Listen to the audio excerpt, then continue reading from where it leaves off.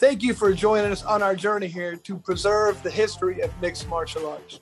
When I wanted to take on this project, I needed help. I brought in one of my favorite matchmakers, Miguel Iturrate, and the MMA detective, Mike Davis. So to do this, we've been able to preserve history. Welcome and enjoy. Hey, Miguel Iturrate back on the LytesOut podcast. Chris Lytle has us on assignment again, and uh, I've got the MMA detective, and uh, Mike Davis is going to run the interview here. And uh, we are once again in Legends territory. Sometimes the Legends word may get thrown around a little loosely, but not today. Not today. We got Tom Erickson joining us to help us out with the Gary Goodridge deep dive. Mike, Gary Goodridge, man, it's like a dream come true. Yeah. So, Gary, we have a lot of the other older guys, the, I should say the pioneers on this podcast. And, you know, of course, you're on that list. And, man, we got to get to Gary.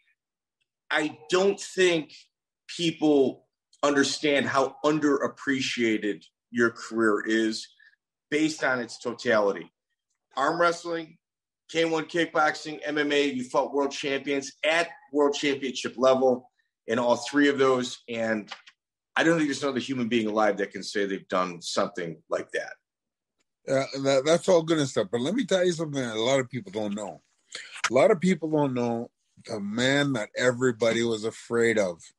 The man in both uh, MMA and uh, kickboxing was Tom Erickson. He was the biggest. I'm telling you, man, this guy, everybody was afraid of. Nobody in MMA would fight this guy. He had to, he had to make all sorts of different uh, things to have have people to fight him. Um, but the, anything that's underappreciated is Tom. Tom, uh, he was my best friend in the sport, as I said. Um, it was hard to get him a matchup because nobody would take the matchup. Um, as a matter of fact, some people, I believe Mark Coleman and uh, some other person said that how they will uh, they'll sign in to fight, but um, put on their contract that they would never fight Tom Erickson. Anyways, that's where I wanted to start at. so let's talk about you got a project coming up, the African Fighting Championship in Nairobi, December 10th. How does this come together? What is it? Please let us know. Oh, it's it's a it's a fighting organization, the exact same as the UFC but out of uh, out of Nairobi. Um, the Nairobi con- uh, thing is uh, AFC, um, just like the UFC, but um, uh, our first fight is uh, uh, December 8th, sorry, December 10th in Nairobi, uh, Kenya. So uh, I'm really, really looking forward to it. Uh, as you know, we can never have enough sponsors, enough um, enough uh, investors. Um, always looking, um, but yeah, I'm really excited. I I'm, I called out to Tom and asked him if he'd come down, and Mark Coleman, and asked him he'd come down, and Maurice Smith. So we're all supposed to be going down um, for December 10th.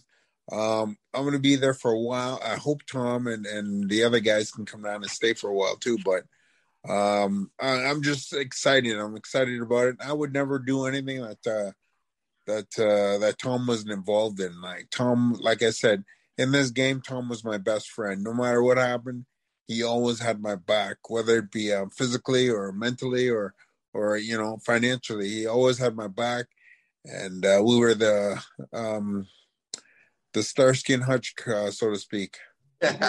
so, so Gary, how does the event take, like, come together in order to take place in Nairobi? Do you have family there? No, um, Actually, my family comes from uh, uh, Congo. That's where um, I, I, trace my roots to.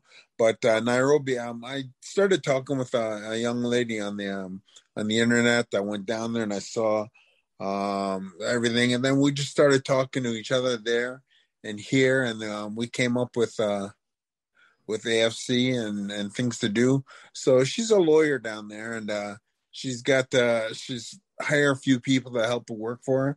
So um, yeah, we got just this thing come out of nowhere, and AFC just started up. Um, actually, we've been talking about it for a year, uh, uh just about a year, and uh, we decided that we're gonna have our first tournament. And of course, uh, I needed my best friend with me in the game, uh, so Tom's coming. That's cool, and and you know, talk about a country that's rich with talent, our, our continent, I should say, not country, continent. Um, I mean, Africa. I mean, it.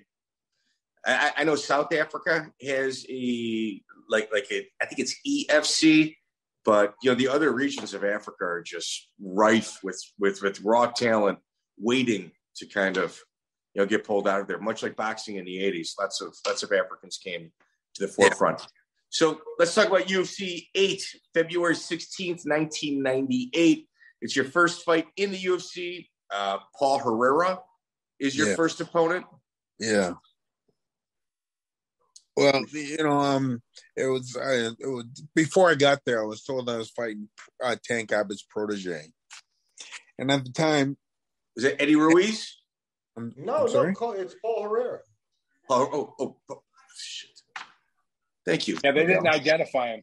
They didn't ident- they, they didn't identify him. See, Tank was trying to grab a wrestler, and Herrera was from actually from Nebraska, if I remember correctly.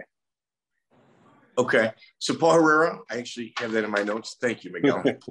I apologize, Gary. So with, with, Tank, you're scheduled to fight Tank's protege, and yeah, and uh, and fighting this guy, uh, I was told that Tank was racist and uh, he was this and he was that, and, and man, I had to beat this guy. I had to make sure this guy can beat me because, of course, he's racist.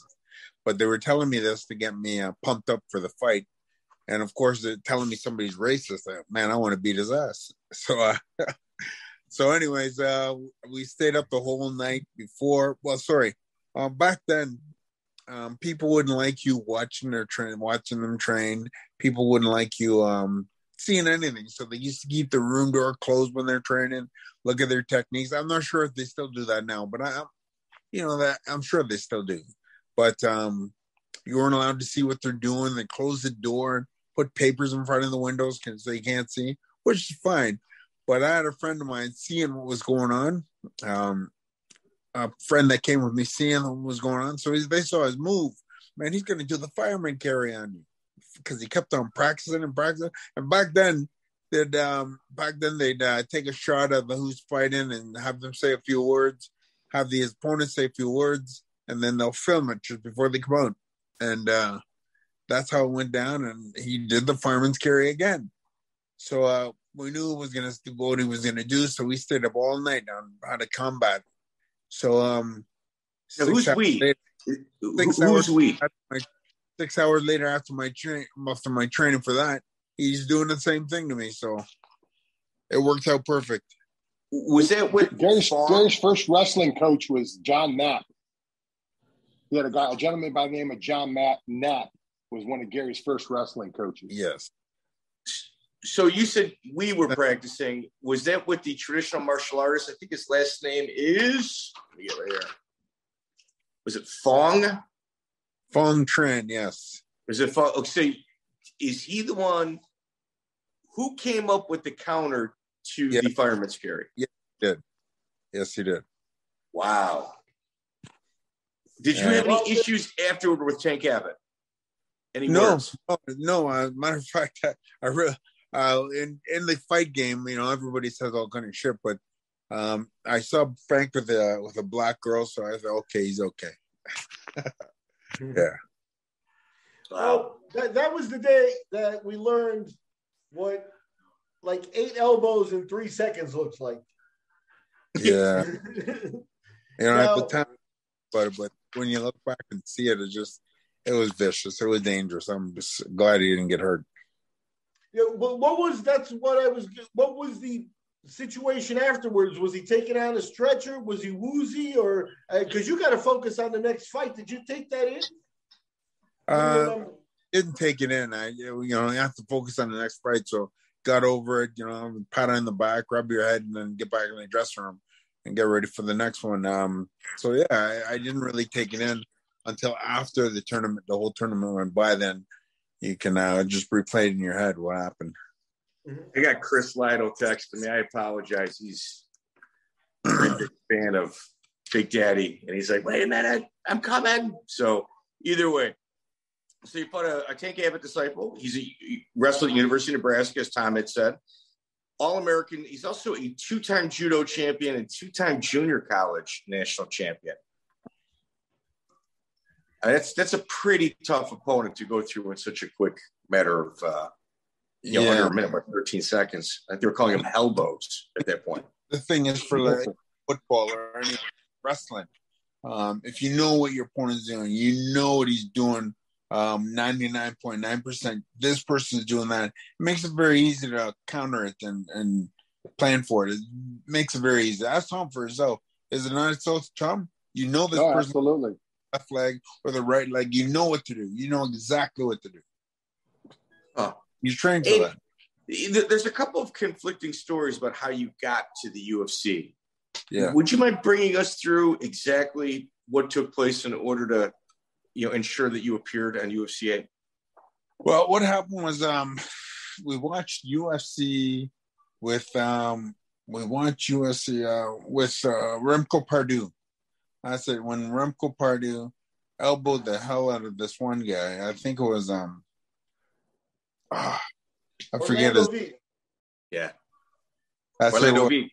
Yes. And then I, I was thinking, whoa, whoa, I don't want no part of that. Before the end of the show, um, friends that I was watching with were dialing up the, the number that popped up. The UFC paraphernalia is this, you can have this. And they were calling, anyways, they got on the phone and they called this person. I gave them the number to this person. I gave them the number to that person. Finally got a hold of Art Davies. And uh, I get on the phone with Art Davies. Uh, if you guys don't know Art Davies, he's the guy that started the whole thing The founder. yeah, he was the founder. He invented it. He just what we're gonna call. So, anyways, uh, Art Davies uh, get on the phone and he says, "What's your name, Gary Goodrich? Are you not that arm wrestler?" I said, "Yeah." He says, "You you spoke well. UFC's got a home for you." So uh, then I'm in UFC. Uh, the next day, he call, he- we asked my phone, my phone number, and all my uh, other information that night. The next day, he called me. and Says, "Okay, you're fighting in three weeks in San Juan, Puerto Rico." That's simple. And in uh, three weeks, I was in San Juan, Puerto Rico, fighting Paul Herrera. Now, this is. Go, Miguel. I, I do have one question for you. I think I don't want to get wrong, but I think you're the second Canadian behind Harold Howard. I think actually Geza Kalman was also Canadian. But did you feel like you were better than Howard? Did you know his reputation before? Did, were you like feeling like you were representing Canada?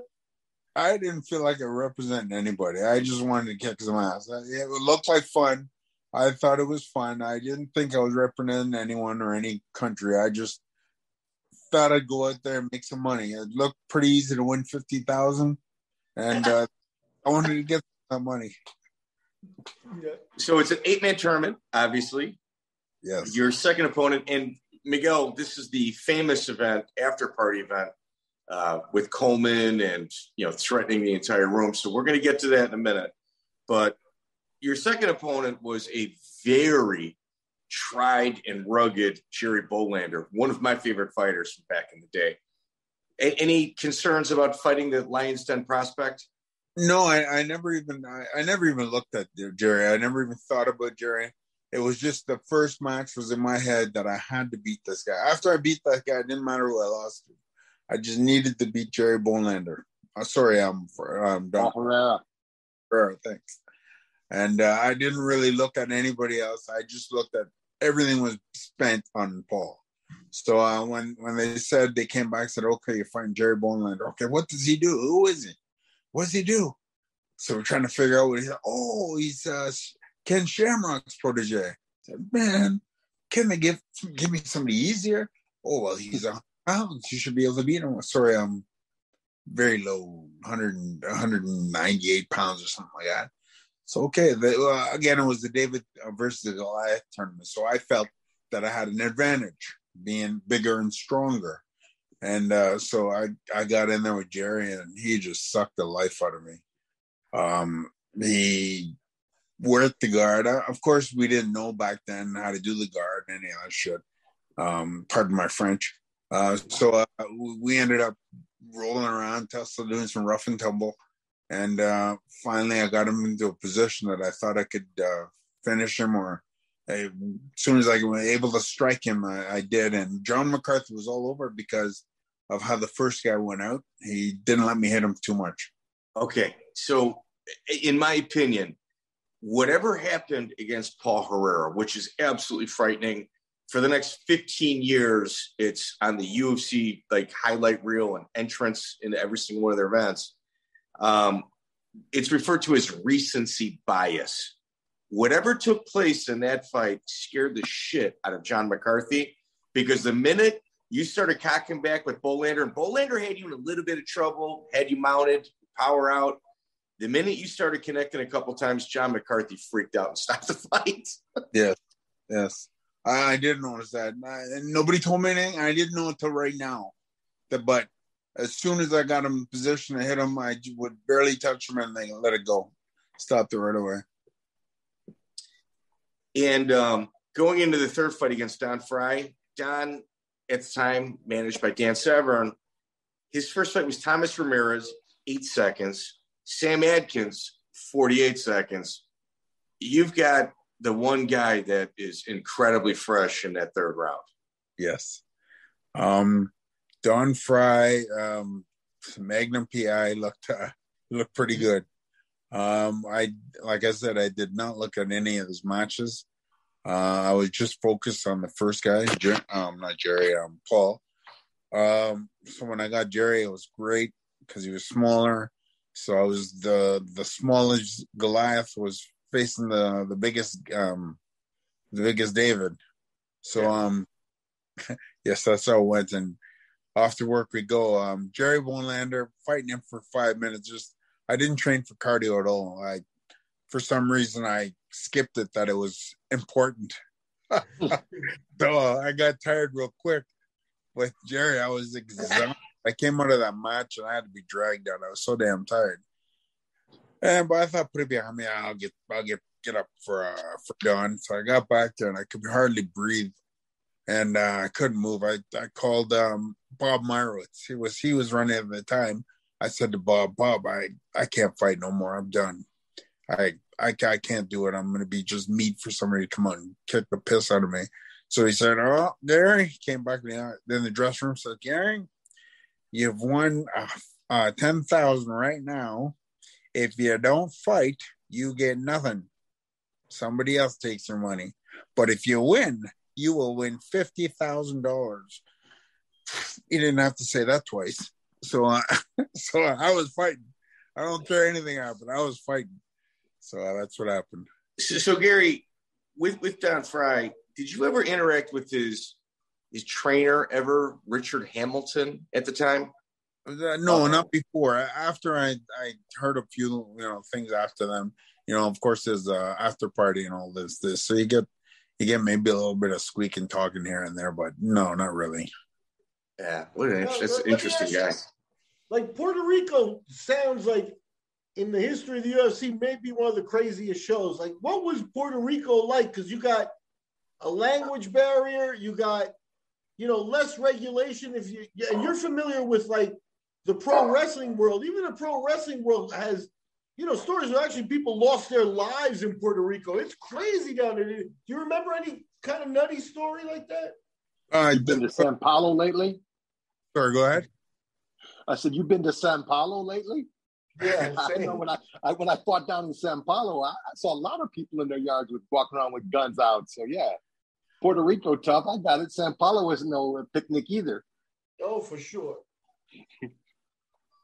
Sorry, Gary, go ahead.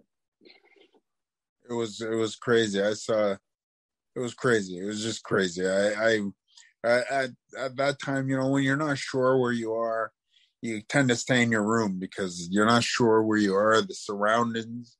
Um, that happened to me a couple times. You go in a strange country and you're not sure what's going on. You just be very uh, vigilant of where you're going, who you're going with, and what's happening around you. So, um, many times I went, I just went and stayed in my room because I didn't want to be caught up in any kind of BS. Or you could have hurt somebody's uh, somebody's fighter or you know their their hometown boy, so to speak, and then all of a sudden you're in a you're in a bar with them and you're drinking, you know. So I I I tend to stay out of those uh, situations just because you know I I understand. I mean, if if you beat my cousin or my brother or, or my buddy Tom, you know, and I still want to kick the piss out of the guy that beat up Tom. um, it gets to you, you know. Um, well, here, I, Gary, come in second. The after yeah. party at that UFC is legendary for you know more than one reason, but a fist fight took place. No. Was it the next one? What about the Goas? Wasn't the Goas uh, yeah, I, Tank I Abbott issue there as well? Yeah, the, yeah, it wasn't. It wasn't the fight that he uh, he had a, a fight at. Because I think Goas also had a fight. I think that may have been the next Puerto Rican event as well. It all may have been in one event. I apologize. UFC nine, Dance in Detroit. Um, your opponent was supposed to be Dave Beneteau. Yes, and I end up fighting um, uh, what's his name? Mark Schultz. Mark Schultz. Oh man, I felt really pumped up, and then I see Mark Schultz. Uh, man, it's a little guy. I'm gonna kick his ass. And then, of course, that didn't happen. uh, I, I totally. Uh, well, the, the, guy that I was training with at the time, John Knapp, he was just tearing me up. He, I couldn't find a way to beat him. And then he says, "Well, you got this guy. He's gonna, he's gonna do this and do this and do this." But then when I saw him, Schultz, oh, he ain't gonna beat me. He's just a little guy. So, um, sure enough, that was exact opposite of what was going on, and I couldn't find myself to anything that uh, that I could do to beat this individual. Uh, it was the a big learning experience for me. So the last minute switch, did they give you more money for that, or was your pay the same? I, I can't remember the the money was a pay, but um, it was uh, I think it was single fights. Was it single fights or no? Uh, tournament fight. Then he was the first. Uh, yeah. Um, did they pay me more money? I asked for more money simply because I can't. I did so well in the first one, so uh, that's how that went. So with with Mark Schultz, you know, the rumor was the, the theory. I shouldn't say rumor. What's confirmed is Mark comes in last minute on our podcast. Art Davie says we had to make a fifty thousand dollar donation to BYU in order to make sure that Mark could fight. Then we also gave Mark fifty thousand dollars. Did you are you aware that he got paid as much as Shamrock and and Severn in the main event? No, I did not. So no. the working theory is that Severn and Shamrock realized that they were getting paid just as much as Dave Schultz. They deserved more, which is why they really didn't fight in that main event that night. They just kind of danced. Yeah. Makes sense. But uh, no, probably peanuts. Uh, I have no idea. You know, at, at, the time, you know, there was all sorts of strongman competition going on, or bad men, or you know, had those uh, tough man competitions, and I just wanted to go out and beat a few people and go home. You know, I didn't care. It wasn't about the money or anything. It was just about beating up a few people on TV. Oh, know, it was just oh, wanted to beat. A... so the movie Foxcatcher, there's if you listen to Joe Rogan, he he mentions it often. He talks about the fight between yourself and Mark Schultz, and about how the director changed the opponent and took you out of it. How does that make you feel to have been subtracted from that movie?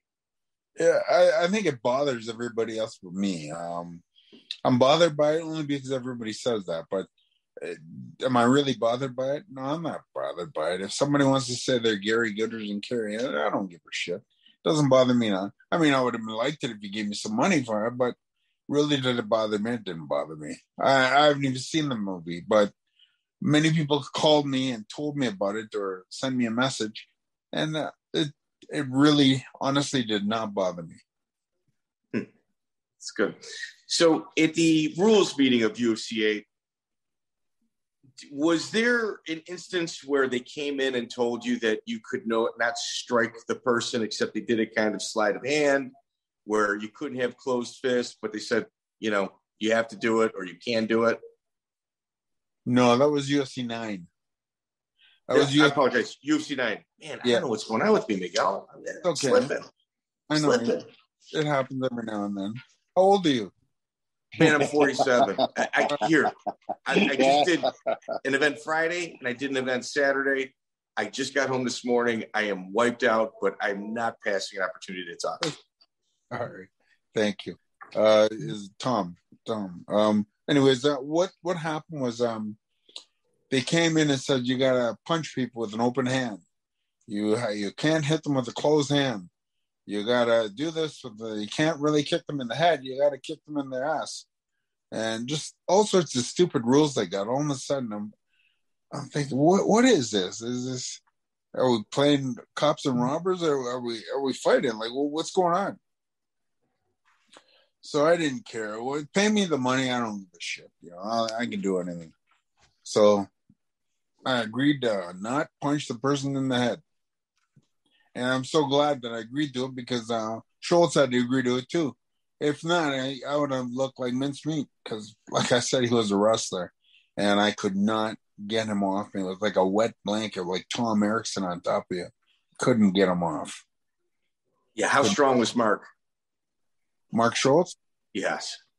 Mark Schultz, uh, I don't know how strong he was, but in wrestling, he sure was damn strong. I couldn't think of how to get him off. Now, did it affect you with the talk about like hitting with the open hands and stuff? I mean, it kind of takes one of your weapons away. Did that once he got you down? That's the fight, you know. But did you feel like that slowed you up, or like you couldn't react? No, it didn't slow me up. It didn't do nothing. Um, uh, once you were paying me, I didn't give a shit. It's all about the money at that point. You know, I, can I hit him? Well, yeah, at the time, if I was fighting him, yeah, we were supposed to strike in the head. It wouldn't. It wouldn't have changed the fight any. He would not have gotten a, a scratch on him um, because he was such a good wrestler that he took the fight away from me. Um, I was. I start the fight. He he starts the fight and I finish the fight. So he started the fight and would not allow me to finish. So he he was, you know, I I couldn't finish, so he finished.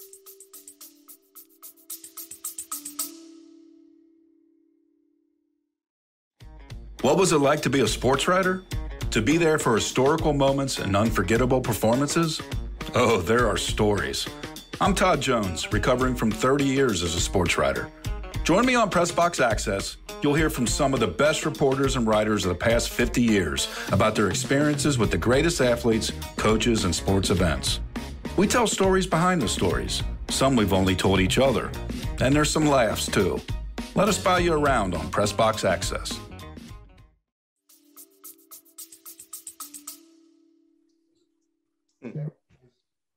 Um, after that, I mean, Mark Schultz obviously weighed 203 pounds. You were 240. Big John McCarthy kept yelling open hands when Mark had the mount on you, which was yeah. kind of surprising. But you had a quick turnaround. They made sure you were at UFC 10 because you were a pretty big fan favorite at this time. Uh, yeah. John Campetella was your opponent. Yeah. I think John Campetella I think John Campetella probably could have had a pretty bright future in the UFC. I'm not sure why he didn't stick with it. I thought he was pretty talented. John Campetella, um, probably now they have weight class, but to me, I, I, thought he was too small. He was too small, and he had very limited wrestling skills. I, I could not see him on if unless he's a brother of yours, I'll start talking nice. But okay. you know, I uh, it was um, John. More of a bodybuilder type. I don't know what he was, but he wasn't a fighter. So he hit a uh, fireman's carry, yeah. high school biology teacher, still teaching, I might add, and um, was out of Staten Island, Vadaha Kenpo Karate. Yeah. I, I thought, like you had talked about, the little recency bias with with uh, John, Big John McCarthy. Yeah. I thought the train was going down the you know down the hill, but I thought yeah. that was stopped a little early as well, out of fear. Yes, uh, I think I was too. But had I known that John was going to do that uh, fireman's carry, he would end up the same way as Paul Era. Honestly, he did the exact same move that uh, that uh, the, that the other did to me, and I caught him. But had I known, I would have waited for it and slipped him into it he would have got a good night, Irene, too. So Tom Erickson fighting one of your uh, wrestling partners. Mark Coleman is the second round of uh, of this tournament. Um, Tom, were you watching the UFC at this time, or was it something that was kind of crossing your mind? Yeah, we started watching it when Coleman started started fighting in it. I, I remember uh, we'd be in training camps and stuff like that. And Severn was the first one that kind of jumped into it, not kind of, but you know, in terms of elite level wrestlers. And I remember uh, Severn's coach, uh, Bobby Douglas, we were at camp. He was one of our coaches at camp, was saying how dangerous this would be, blah blah blah, and telling Coleman how how he shouldn't get into this and everything else. And Coleman just licking his chops because the one thing Coleman likes to do is fight. You know, get drunk, fight. I mean, that was him, Randleman. That's that's what they love to do. That's why he was so suited for it. And and uh, so yeah, we got to watch. I think we were at training camp or something at one of the events when when Coleman was fighting in there. We're all kind of you know hooping and hollering. That's our guy, so we're we're pretty excited for him. So absolutely, hilarious. That's hilarious. So Mark Coleman, Gary, bring us through your experience with the Hammer. Oh man, the Hammer was like um like uh Dave Schultz. It was just but bigger. Uh, he was just a nightmare. He was just a nightmare. And I had a bigger nightmare after that too. Uh, Mark Coleman was just a nightmare. I, I couldn't do nothing. And then he was trying to headbutt me. He was trying to nail me with headbutts. So I opened my mouth to let him uh, put it on an angle so that if he headbutt me, he was going to cut his head in front of my teeth. But I free, forgot if he headbutt me, I would have lost all my damn teeth. but he never, he never paid attention to it. He just stopped the headbutt. He saw me doing that. Yes, I would have lost all my teeth. You landed a uh, you landed a right hook right before the final takedown that looked pretty heavy. Did you think you had Mark? I don't think so. He told me about that that too. You know, I I, I honestly have not seen that match again. Um, I've not seen it, uh, but he he tells me about that. he tells me about it, but I I don't recall it at all. I, I, Miguel, at this point, I think this is the first time we're obviously right now people are a lot more polished, but I think this is the first time you saw somebody in the cage just kind of vamp, do something different, and um, just start thinking while fighting.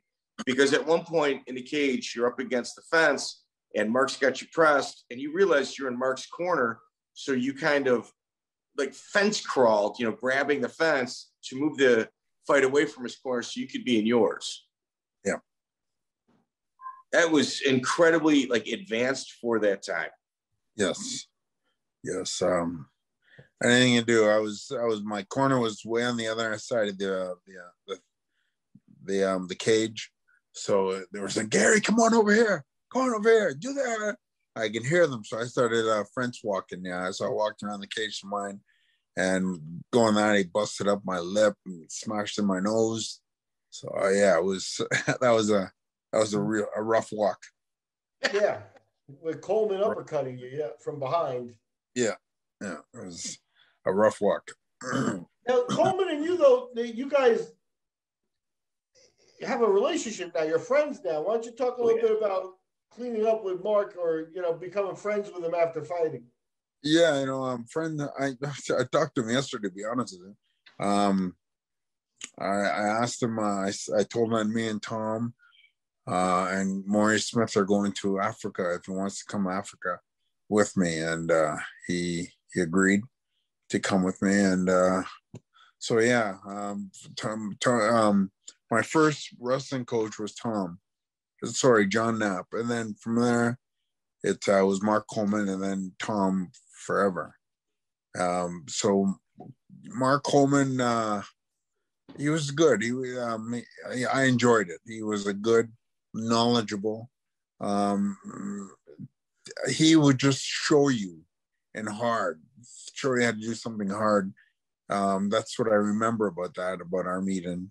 Um, he would just show you hard, take you, say at his house, and he'd take you over and show you something really hard. And it's just, you couldn't, to put it together in your mind how to do it. Um, but yeah, he coached me. He was, he was very good at what he did because when we went, there was, there were like six or seven guys, and he'd go in and beat them all up, and I'd watch and try. Did you, you know, did you ever get a takedown against Mark? Never. I, I never got a takedown against anybody. That's not fair.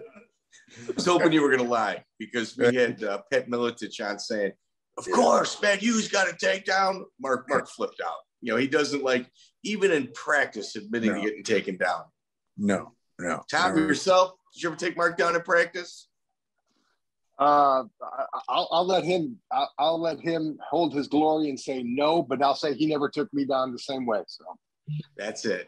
That's we, it. you know, we didn't really wrestle that much. We, we was kind of really refined. He was a 220 pounder, and we were with the heavyweight. So we're very rarely did we ever kind of cross up and grab each other. You know, the one of the guys that I did kind of cross over just because he's just that way was uh, Kurt Angle. I, I rolled with him a couple times. And he's a little tur- he, and I say this in a good way. He's got a little nice little duck under to the left side. He he'd hit me with a duck under and take me down and laugh at me. I want to get up and punch his ass, but.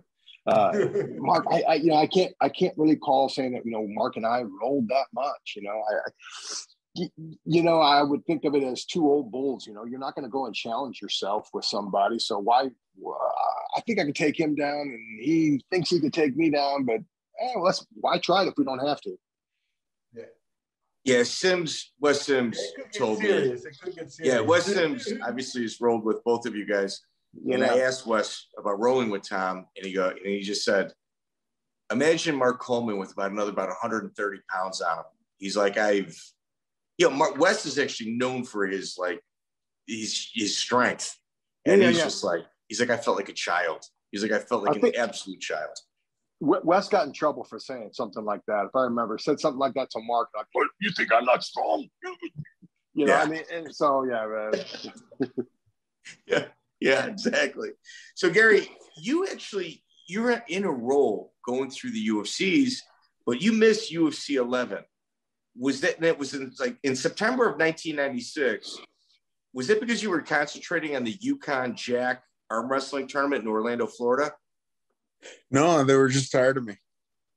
Really? They were just tired of me. Uh, they were just tired of me. You know. Okay, Gary, uh, your turn out. Somebody else turn in. They're just tired of me. Did, did, did, did they already talk to you about coming back at the end of the year for the big, like the ultimate ultimate, or was that Yeah. something? That um, I don't think they talked to me right then. They said all the piece of people that won the tournament, the the tournaments, and the second second in the rows after the seconds always are going to come back to have an ultimate ultimate. Uh, so I was in because they said that, but uh, no, they never did anything special. Okay. Well, the ultimate ultimate is what in Yukon Jack tournament. How did you do in that wrestling arm wrestling tournament? I beat I won to beat John John Knapp and Cleve Dean. Yeah. or not John Knapp, John Brzenk and Cleve Dean, sorry. Yeah, John Wow. Brzenk. Yeah, I, I was watching some of your old arm wrestling videos. It's weird seeing you with hair. Yeah, Yeah, quite different. Yeah. Don Frye, Ultimate Ultimate, December 7th, 1996. Yeah. Um, that obviously a rematch. Any concerns going into it? Um, no, I, I knew he was a journeyman in terms of uh, he can go forever and ever and ever. Okay. So I, I worked on my cardio a little bit more than I did the first one, which was none.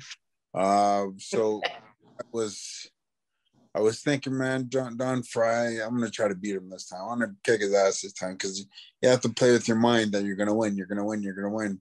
You know, but my mind says he can't he beat me, he beat me, he beat me. So no, I'm gonna win. So it's a it's a it's a it's a struggle with your brain fighting against each other in order to win. So by the time I got in there, you know, I had in the back side of my brain was saying I'm gonna lose, and the front side was saying you're gonna win. So hidden, I hid it in my brain that I was gonna lose, and I tried to be out front that I was gonna win, but uh I lost. So the back won. So that actually was at 11 minutes 20 seconds. It was a valiant effort on your end. Oh man, I I just I really wanted to win that. I really wanted to win because he beat me so easy, like in the first time. I really wanted to win that. And it didn't happen. So oh well. Yeah, Your were brother you was a- wearing a gi? Were you wearing a gi? Uh, I, I think at that point, no, I don't think I was wearing a gi then. I think I took. I was wearing the pants. Maybe so. I don't know. It's, Well, what was the like? What was the thought? Because like the gi, you know, made people maybe grab you? You know, it's associated with jujitsu, but like yeah. it worked for you, and and it also was part of your persona. Why'd you take it off? Well, I, I, I, have, I, I, I never wore gi before. I The first time in UFC eight. How about that Kuk Sool Won? Yeah, tell them about that story. That's yeah. a good one. Uh, yeah, the Kuk Sool Won is a story. I uh, I seen friggin' uh, I seen Royce Gracie wearing it and winning. That's what the hell? Who am I? I can win. I was I wear the same thing and go in and choke out with it. But uh, obviously, it couldn't do that. You need more training. I had no idea until I got there. Awesome. how did you hook up with that Kuk Sool Won gym? Um, when I saw the UFC on, on TV, I went I went in the town that I was living in, and uh, uh, I was work. I was Phong Tran was the guy I was training with that told me, "Hey, I'm gonna get you in the thing UFC." And so I, I started training with him, and he was at uh, the Won school. So uh, he took me over there and and uh, told the guy I was gonna fight. So he gave me a gi and he gave me black belt, and he said, "Okay, go on out, join, use the club." So I could use the club, I could train in the club, and just as long as I represented club. So that's what I did. I so they gave me a fourth degree black belt. Now, you were also training at Bob Houston's martial arts academy. Bob Houston, Bob Houston, yeah, yeah. No, I, I never. I went there. I think once. I went there once, and Bob's a great guy. Uh, I wow, that that's going way back. Come on, bro. Bob's uh, you're good, man. Bob Houston, yeah. He's a cop now. Is he really? He's a cop now. Yeah. Okay. How do you know? Um, go ahead. And Mike does his research. I did his research. All right. Yeah, no, yeah. I Gary, that's kind of our hook here. I if you have an ex-girlfriend that wants to stalk you, I would like uh, to match her and the uh, research being found. So it's kind of what makes our podcast special, like stuff like that. Um, it's why we forgive when he mixes up UFC eight and nine. Thank you, thank you, Miguel. I, am blaming tiredness, but truth be told, Gary, like in high school, I took all my books to the same room. Like when the bell rang, I just I was told to stay. I wasn't allowed to leave. Uh. so Universal Vale Tudo, March third, nineteen ninety seven. You fight an eight man tournament. Promoter Sergio Bottarelli. Yeah. How was it fighting for him? Well, but uh, again, you know, it was when you fight away out of your country, or well, I, I consider America our country too. But uh, when you fight away country, what happens is that how you get wary about people around you, people being able to get to your room, knowing where you're sleeping. Uh, you get where you'll get an uneasy feeling about that. When I went down to Sergio Bottarelli, I mean, I went, I went down with Brian Johnson and and uh, what's it, um Don Frye and a couple other people, and you're just not sure what's going on around you. And then you got to be sure about who you're telling where you're sleeping because it, um, Brazil's a pretty sketchy place. It's pretty sketchy and scary place, you know. So um, you weren't sure about anything. Nobody ever told you about it, but you just you just the ambiance. It's just what's going on around you. Just and now, now that I did, now that I know Brazil, I know of Brazil, it was a good thing I did that because it's not, uh, it's not a friendly place. No, it's the same event that Kevin Randleman fought on. Am I correct? Yeah, yeah. So when Randleman fought Ebenezer Braga, a couple of the Brazilians were pulling Kevin under or pulling Braga underneath the ropes to get yeah. him away from Kevin so they could restart it. Uh, yeah. Coleman almost fought the entire section of crowd yeah. behind yeah. him twice that night. It's fantastic yeah. watch on video. It's on YouTube. So go ahead. I, I, have a question for you, Gary. Now, UFC, you fought UFC 8, 9, you know, those were no, basically no rule fights, you know, back in those days there seemed to be a difference though in Brazil. Like the Vale Tudo, I don't know if it was rougher or if the guys that you fought were, you know, maybe willing to die more. Like, was that part of it, or was it really, you know, were was the rules intimidating and maybe they won't enforce them well because it's Brazil? Like, how did that play in, or was it really just strictly the culture? it was just the culture, just uh, and you know, I don't think they they don't really care about anything. Uh, in America, you care about the cops. You care about what's going to happen. You care about jail. I, I, I found that eh, to me, it seemed like uh, they didn't give a shit about that. You know, if, if they're going to fight, they're going to fight. They're, they're like um, human pit bulls, got angry at the drop of a dime. Wow. With Mario Neto, and, and Mario Neto is, is, a fantastic story. I, we're tracking him down very soon. Mario Neto, it, seemed like you got two, you you took two hard punches and you tapped out. It was a really strange end to the fight. Mario Neto. I lost that fight? Yes, you tapped out. Yeah. You know what?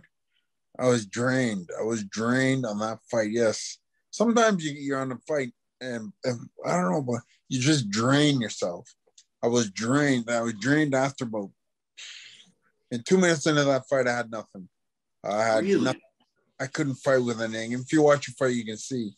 Um, two minutes in that fight, I was just completely drained. Um, you pump yourself so much in the back that when you come out and fight, you're just completely drained. And it was one of those times.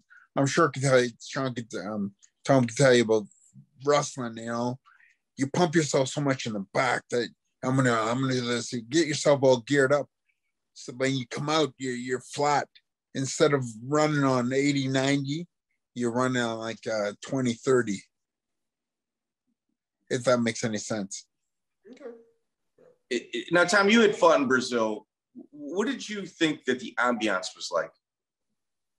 Uh, it, it was crazy. It was laid back. Uh, and we had Chiapparelli was, was, was my guy, and he had trained with Renzo and and the different the factions and stuff like that.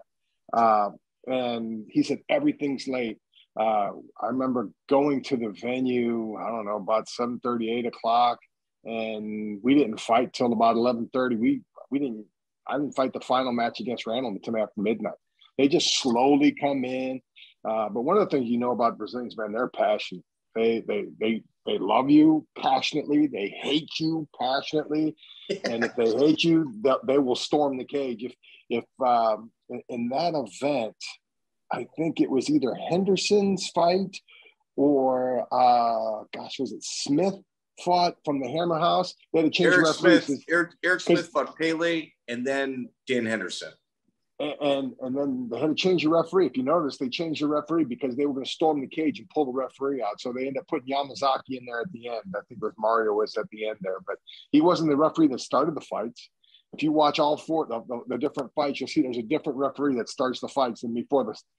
It's not the same guy that finishes the fights because they were going to pull him out because they didn't like a decision, they didn't like a stand up or something like that. Okay. Where they were going to pull that guy out. Okay, just I mean, we're kind of going down a different path right now, but this is Sorry. this is serious yeah. history right here. So the serious history that Tom's just talking about, Tom, that's fantastic. Eric Smith, okay. Pele Landis fights Johil de Oliveira, loses after taking like 98 headbutts. And this is kind of like the prodigy of his school his comeback fight, where you know he's in phenomenal shape, is an 0 Hammer House guy named Eric Smith, who in like eight or nine minutes lays a beating that nobody, like it's even worse than Johil. So you got a blue chip prospect going 0 and 2 in his hometown, and the crowd, to that crowd, they were gonna they were trying to attack anybody. That was a very, yeah. very crazy event. Um, though side note, Mario Neto, Wolfslair in Europe and England is his gym. He's he's done a fantastic job. July 6th, 1997, International Vale Tudo, Brazil, Brazil. Another eight-man tournament. Augusto Menezes. Do you recall him? Menezes Santos? Gary? No, I don't. I don't recall him at all. Not Another at all. crucifix. Yeah. I gave him a crucifix? You know, there's no video on it it's that's all that's listed oh, on the oh, fight. Oh, yes, yes, yes, yes. you just had to say that. The water. Yeah, this guy. No, that was the Pedro. I was thinking about the, the Pedro when I when I started making peanut butter, when I was making peanut butter. That what you're talking about? He's talking Tom. threw in the nut grab here. Let's just skip. Here we go. Pedro Octavio, the Pedro in the finals, 1650. Um, he beats Brian Keck from Hammer House in 1824. Incredibly exhausting fight. Uh, Andrea Cardoso beats him with an Achilles lock at 841, and he runs into you in the finals. Um, how difficult was that fight? When did you res- decide to resort to grabbing another man's package? Okay. What happened was he fought 30 minutes his first fight, 30 minutes. His second fight, pretty damn close to that as well. So by the time he came to me, he was already damn tired, right? So, so we, I, my first match was relatively quick. My second match was quick as well too. So, uh, so I was, I was relatively fresh. He was relatively tired. So what happened was, um, I don't remember how the fight started, but there's, here goes out about making peanut butter. And this is the truth. i never mind what anybody else tells you. What happened was we got into a position and uh, I was in the guard and I got my foot caught in his uh in his his, his pants. And I could have took it out. I said, no, nah, I'm gonna leave it in there because I can I can push back on him and bring him forward, right? I can push him back so he's further back and bring him forward when I want with uh with the shorts. You did it to me in Japan. Yeah, yes I did. yeah. So I thought, what the hell? I'm just gonna use it. So then the referee restarted us, and the the, the pushing him back and his jock was still in my head. So I thought, man, what I'm gonna do is I'm gonna slip his jock to the side, then pow, like just hit him in the in the balls and just crush everything. So my mind is thinking, we get up. I say, I want to get in his shorts. If I get in his shorts, I can crush him because there's no rules. There's no rules over there. So he can do it to you. There was there was no rules. They, they said that's how they got me there. They called me up and they said, Gary, would you like to come to a tournament and fight? And one night I said, yeah, well, uh, yeah who, who, am I fighting? I said, well, you're fighting at a tournament then, and we're gonna give you a blah, blah, blah, blah. So said, okay, yeah. So what's the rules? It says there's no rules. So, oh wow, I'm on my way to Los. I'm on the way to Brazil. There's no rules. So I got there, and I want to smack the guy in the crotch, and I'm gonna I pull his, his, his underwear to the side, his uh, jock to the side, so it rests on it. So I can just, like I said, crush it. So I'm, I'm trying to push to the side, I'm trying to push to the side, and um, then he drops to the ground, ah, holding his package like I did something. I I didn't touch your crotch. I was in there trying to push the jock to the side, but he carried on like if I did that for the stuff. And uh, Sergio, the guy that was running, he said, well, keep going. There's no rules. Keep going. so, so I ended up winning that fight because he just hung onto his crotch. Ah, I started crying. So Gary, you were positioning the package, not grabbing. Yes, that uh, yeah, I made some peanuts. I make fun of it now. It's that big difference? Of course. Who cares? It doesn't matter. Yeah, who cares? I got paid. I got my twenty thousand. I was happy you know. But absolutely. So let it be known, hang on, let it be known that how I did not squeeze his nuts at all. I, would say no, I squeezed his nuts, but I didn't squeeze his nuts. I went down in his shorts, like I said, to push the cross to the side, and I smack it. I wanted to smack the smack and pinch his dick off, but I, I, I didn't try to. Yeah, that's what happened. This is kind of like one of those I didn't inhale moments. Yeah. Yes. It, now I I know the Pedro and like he's bizarre berserk over this, you know, because it was sort of like an embarrassing thing. Was there? Did you talk afterward? Like, what was the reaction in Brazil? Because they never seen anything. I know they do no rules, but they never seen anything like that. Yeah, yeah. He's a punk. So he Miguel, we started talking about Brazil with you saying it's just different. It's cultural. They're they're very passionate. They like to fight. They like to love. Yeah, I think Gary showed them what levels are all about with that. Move. And I think um, on um, sorry, sorry, sorry. Mark Coleman was with me. He was watching my back at that time. Man, we had to grab the money and get the hell out of that place as soon as possible. Go back to our rooms. No party partying tonight. wow, no partying. Oh, yeah. Oh yeah. No partying tonight, man. We got to stay in our room. So let's what? go ahead. Sorry, go ahead. He, the, the one thing that's surprising, and there's no video, I really wish there was. The one thing that absolutely was shocking, Cal Worsham's on the card. You beat Cal Worsham in 43 seconds with a key lock. Yeah. Cal Uh, Worsham was legit. Yeah. What The did you, who, with were you Cal training your jiu-jitsu at? The thing what happened with Cal Worsham there, and I'll tell you the truth. Um, we know we're gonna fight. He says, "Well, how much you gonna pay me for me to lose?" I said, "What do you want?" So he said, "Well," I, so then we came up with a number. I really don't remember what the number is. He said, "I'll tap to you. I'll tap for you." Okay, tap for me. That's the truth. So yeah, fight Cal Worsham, but we didn't even rough and tumble. It just it was like thirty seconds.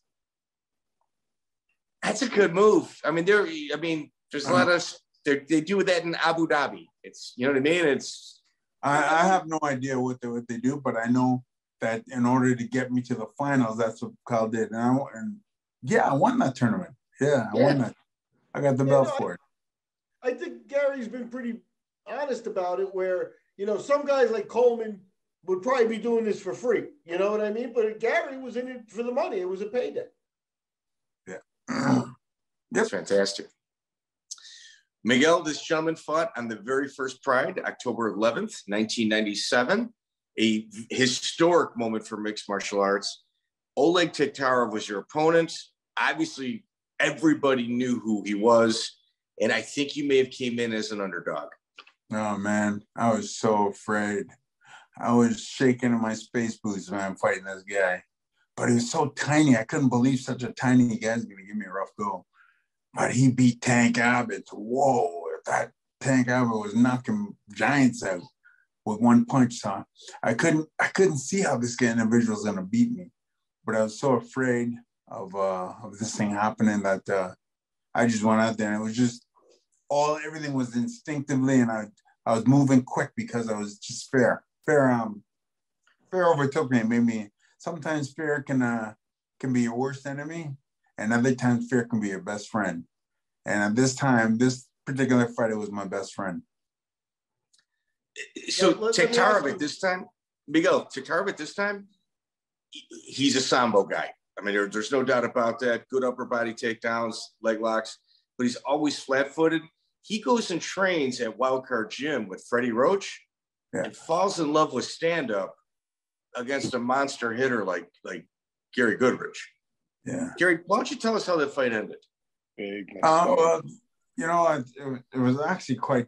I think I think it only lasted eight minutes, but uh, so what it was is him and I were just dancing around, and um, I hit him, and it scratched him open. I think he got scratched on the nose and started bleeding a little bit. Nothing major. Oh, sorry, inside of the head.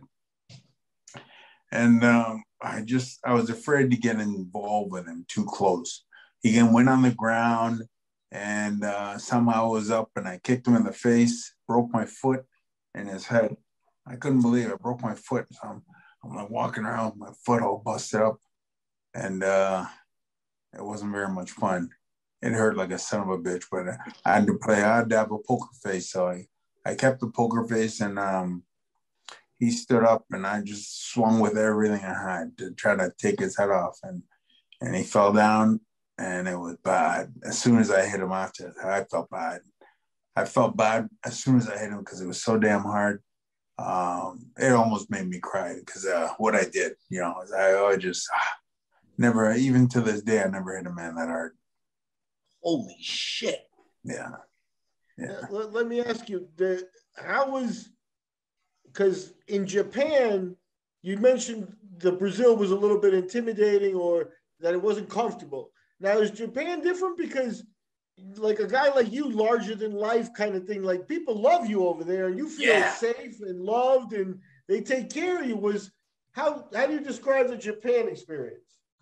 With, with Japan is that, is that the thing? The thing with Japan is that how they didn't. With me, they didn't care if I won or lose. They liked my spirit that I kept on going, and I kept on going. Don't kick my ass, and I keep going. I kept going back and going back and trying and trying and trying. That's what they liked about me. So I won. That's why I won half the fights and lost half. Um, you know, even Tom kicked my ass. They're pretty good. Um, Mark kicked my ass. They're pretty good. I, just everybody kicked my ass, and the, people, the new guys that came in, I kicked their ass. So uh, I was a journeyman in that fight. I was um, what do they call it now? Um, gatekeeper. I wasn't. I was yeah. The, I was the, gate, the gatekeeper. Yes. So I, yeah, I was. I was not the goat. Tom, how was your experience in Japan?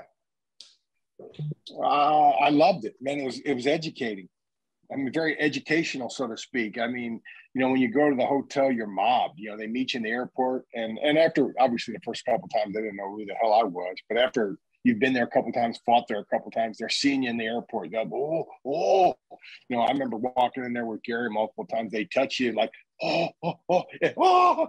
You know, and be really scared. But uh, you know, you watch the fights. You know, you're back in the states, and I had fought. You know, several times. You go down to Brazil and stuff like that, and uh, you know, in the states, it's kind of barroom. Oh, kick his ass, break his arm. In Japan, very respectful. We're in the uh, Saitama Super Arena, 20, 30,000, whatever. They're in there, and, and the crowd is quiet and a murmur, but then you, you lock in a submission or you catch somebody, you connect with a punch, and all of a sudden the crowd starts amping up because they know a finish is coming. And it just, it's just, you know, and I've wrestled my whole life and had a lot of success wrestling and stuff like that, but it was really cool to be treated like a rock star. I mean, that, that's what it was. I mean, you know, obviously it's it's a yakuza, so you know there there was big money people taking care of you the right way. You know, we we stay at the Tokyo Hilton, uh, beautiful place. I mean, they just just just treated us like royalty. Um, you know that that's why in early days, you know, Pride, you know, UFC paled compared to Pride. I mean, that UFC was a local gin joint fight Fight Club compared to what Pride was. Incredible shows. I mean, there isn't a guy on this in, in this four p- p- pictures I'm looking at that that can't tell you that the Pride knew how to put on a show. The pyrotechnics, the the displays, and everything else just just were incredible. And, and so, man, was, you, you fought harder for it. Uh, I was just going to ask you to confirm when you went to Japan. Did they fly you business class or or coach? Who me?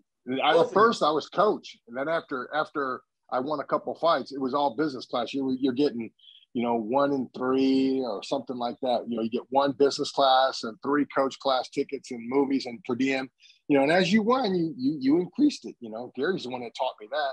You know, I, I, I mean, one no, seriously, this is you, you and I know Gary has some things going on in, in his life right now with some different things, but that is one of the smartest guys I know in the fight game. And he taught me so much in terms of how to negotiate, how to get in the ring, how to act, how to talk trash and stuff like that.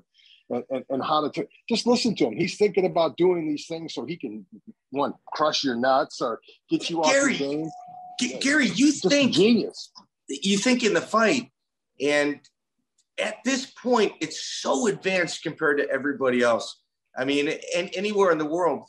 Did you? Uh, I mean, obviously, Tom had mentioned the Yakuza. Did you notice any of those people at Pride One? Did you kind of know it was a little nefarious at that time? No, I, I didn't. I didn't really pay attention to any of that. Um, but yes, you can see it prevalent uh, as you go on. When did it kind of dawn on you that the Yakuza was heavily involved? Um, further on in, in my career with that um, because you just see guys hanging out and and people tell you, oh, he's yakuza, um, that from Japan there. Um, so to work to work for Pride, um, and for K1, it, you know, yakuza was involved. There was yakuza money. Oh, that's interesting. Now, Marco, now, who else?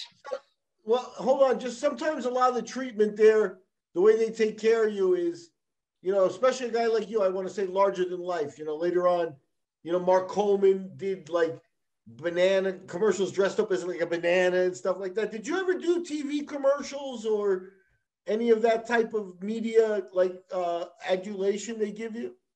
Yes, well, I did. do strongman competitions and stuff over there. Oh, it was, it was awesome. Yes, I did. Uh, I did um a commercial for shaving, a commercial for this, commercial. Uh, yeah, we did a few commercials, just about three commercials. Okay, and, and how about pro wrestling? Pro wrestling, I did two two cards, yeah, two different cool, things. Cool. that's, that's another excellent. way they kind of take care of you is they bring you back for other little gigs and things, and that's good. You got to grab your money, man. You know. So you fight Marco Ruas, King of the Streets, Luta Libre legend, residing in California right now. You lose to a heel hook in that in, in that fight. But prior to the submission, it looked like you stepped awkwardly and may have compromised your ankle. Is that true? I don't think so. Um, I was just in awe of Marco Ruas, to be honest with you. I was in awe of him. So when when he did put me in anything, it was okay. I, I knew you were going to get me. Go ahead. Um, but at that, at that point in my career, I was like, it's about the payday. So if you pay me right, I'll do whatever. If you pay me wrong, me, it's, things are going to be different. I'm, maybe I don't even want to fight. But um, it was all about the payday. It really was always pay me money. But if I had to pick a moment where you really made, you cemented your legacy in Japan, it was at Pride 3 against Amir Ron Ab RC. Uh, Miguel, I just said that phonetically because I'm never going to get through it. Um, you were in his full guard and you hit him with like three right hands that I thought were the hardest punches I've ever seen from guard. Yeah. Yeah. Um, I just talked to him yesterday. Uh, we still keep in touch on the internet, on Facebook. Uh, you know what? Amir, Amir took that fight um, like Tom and I used to.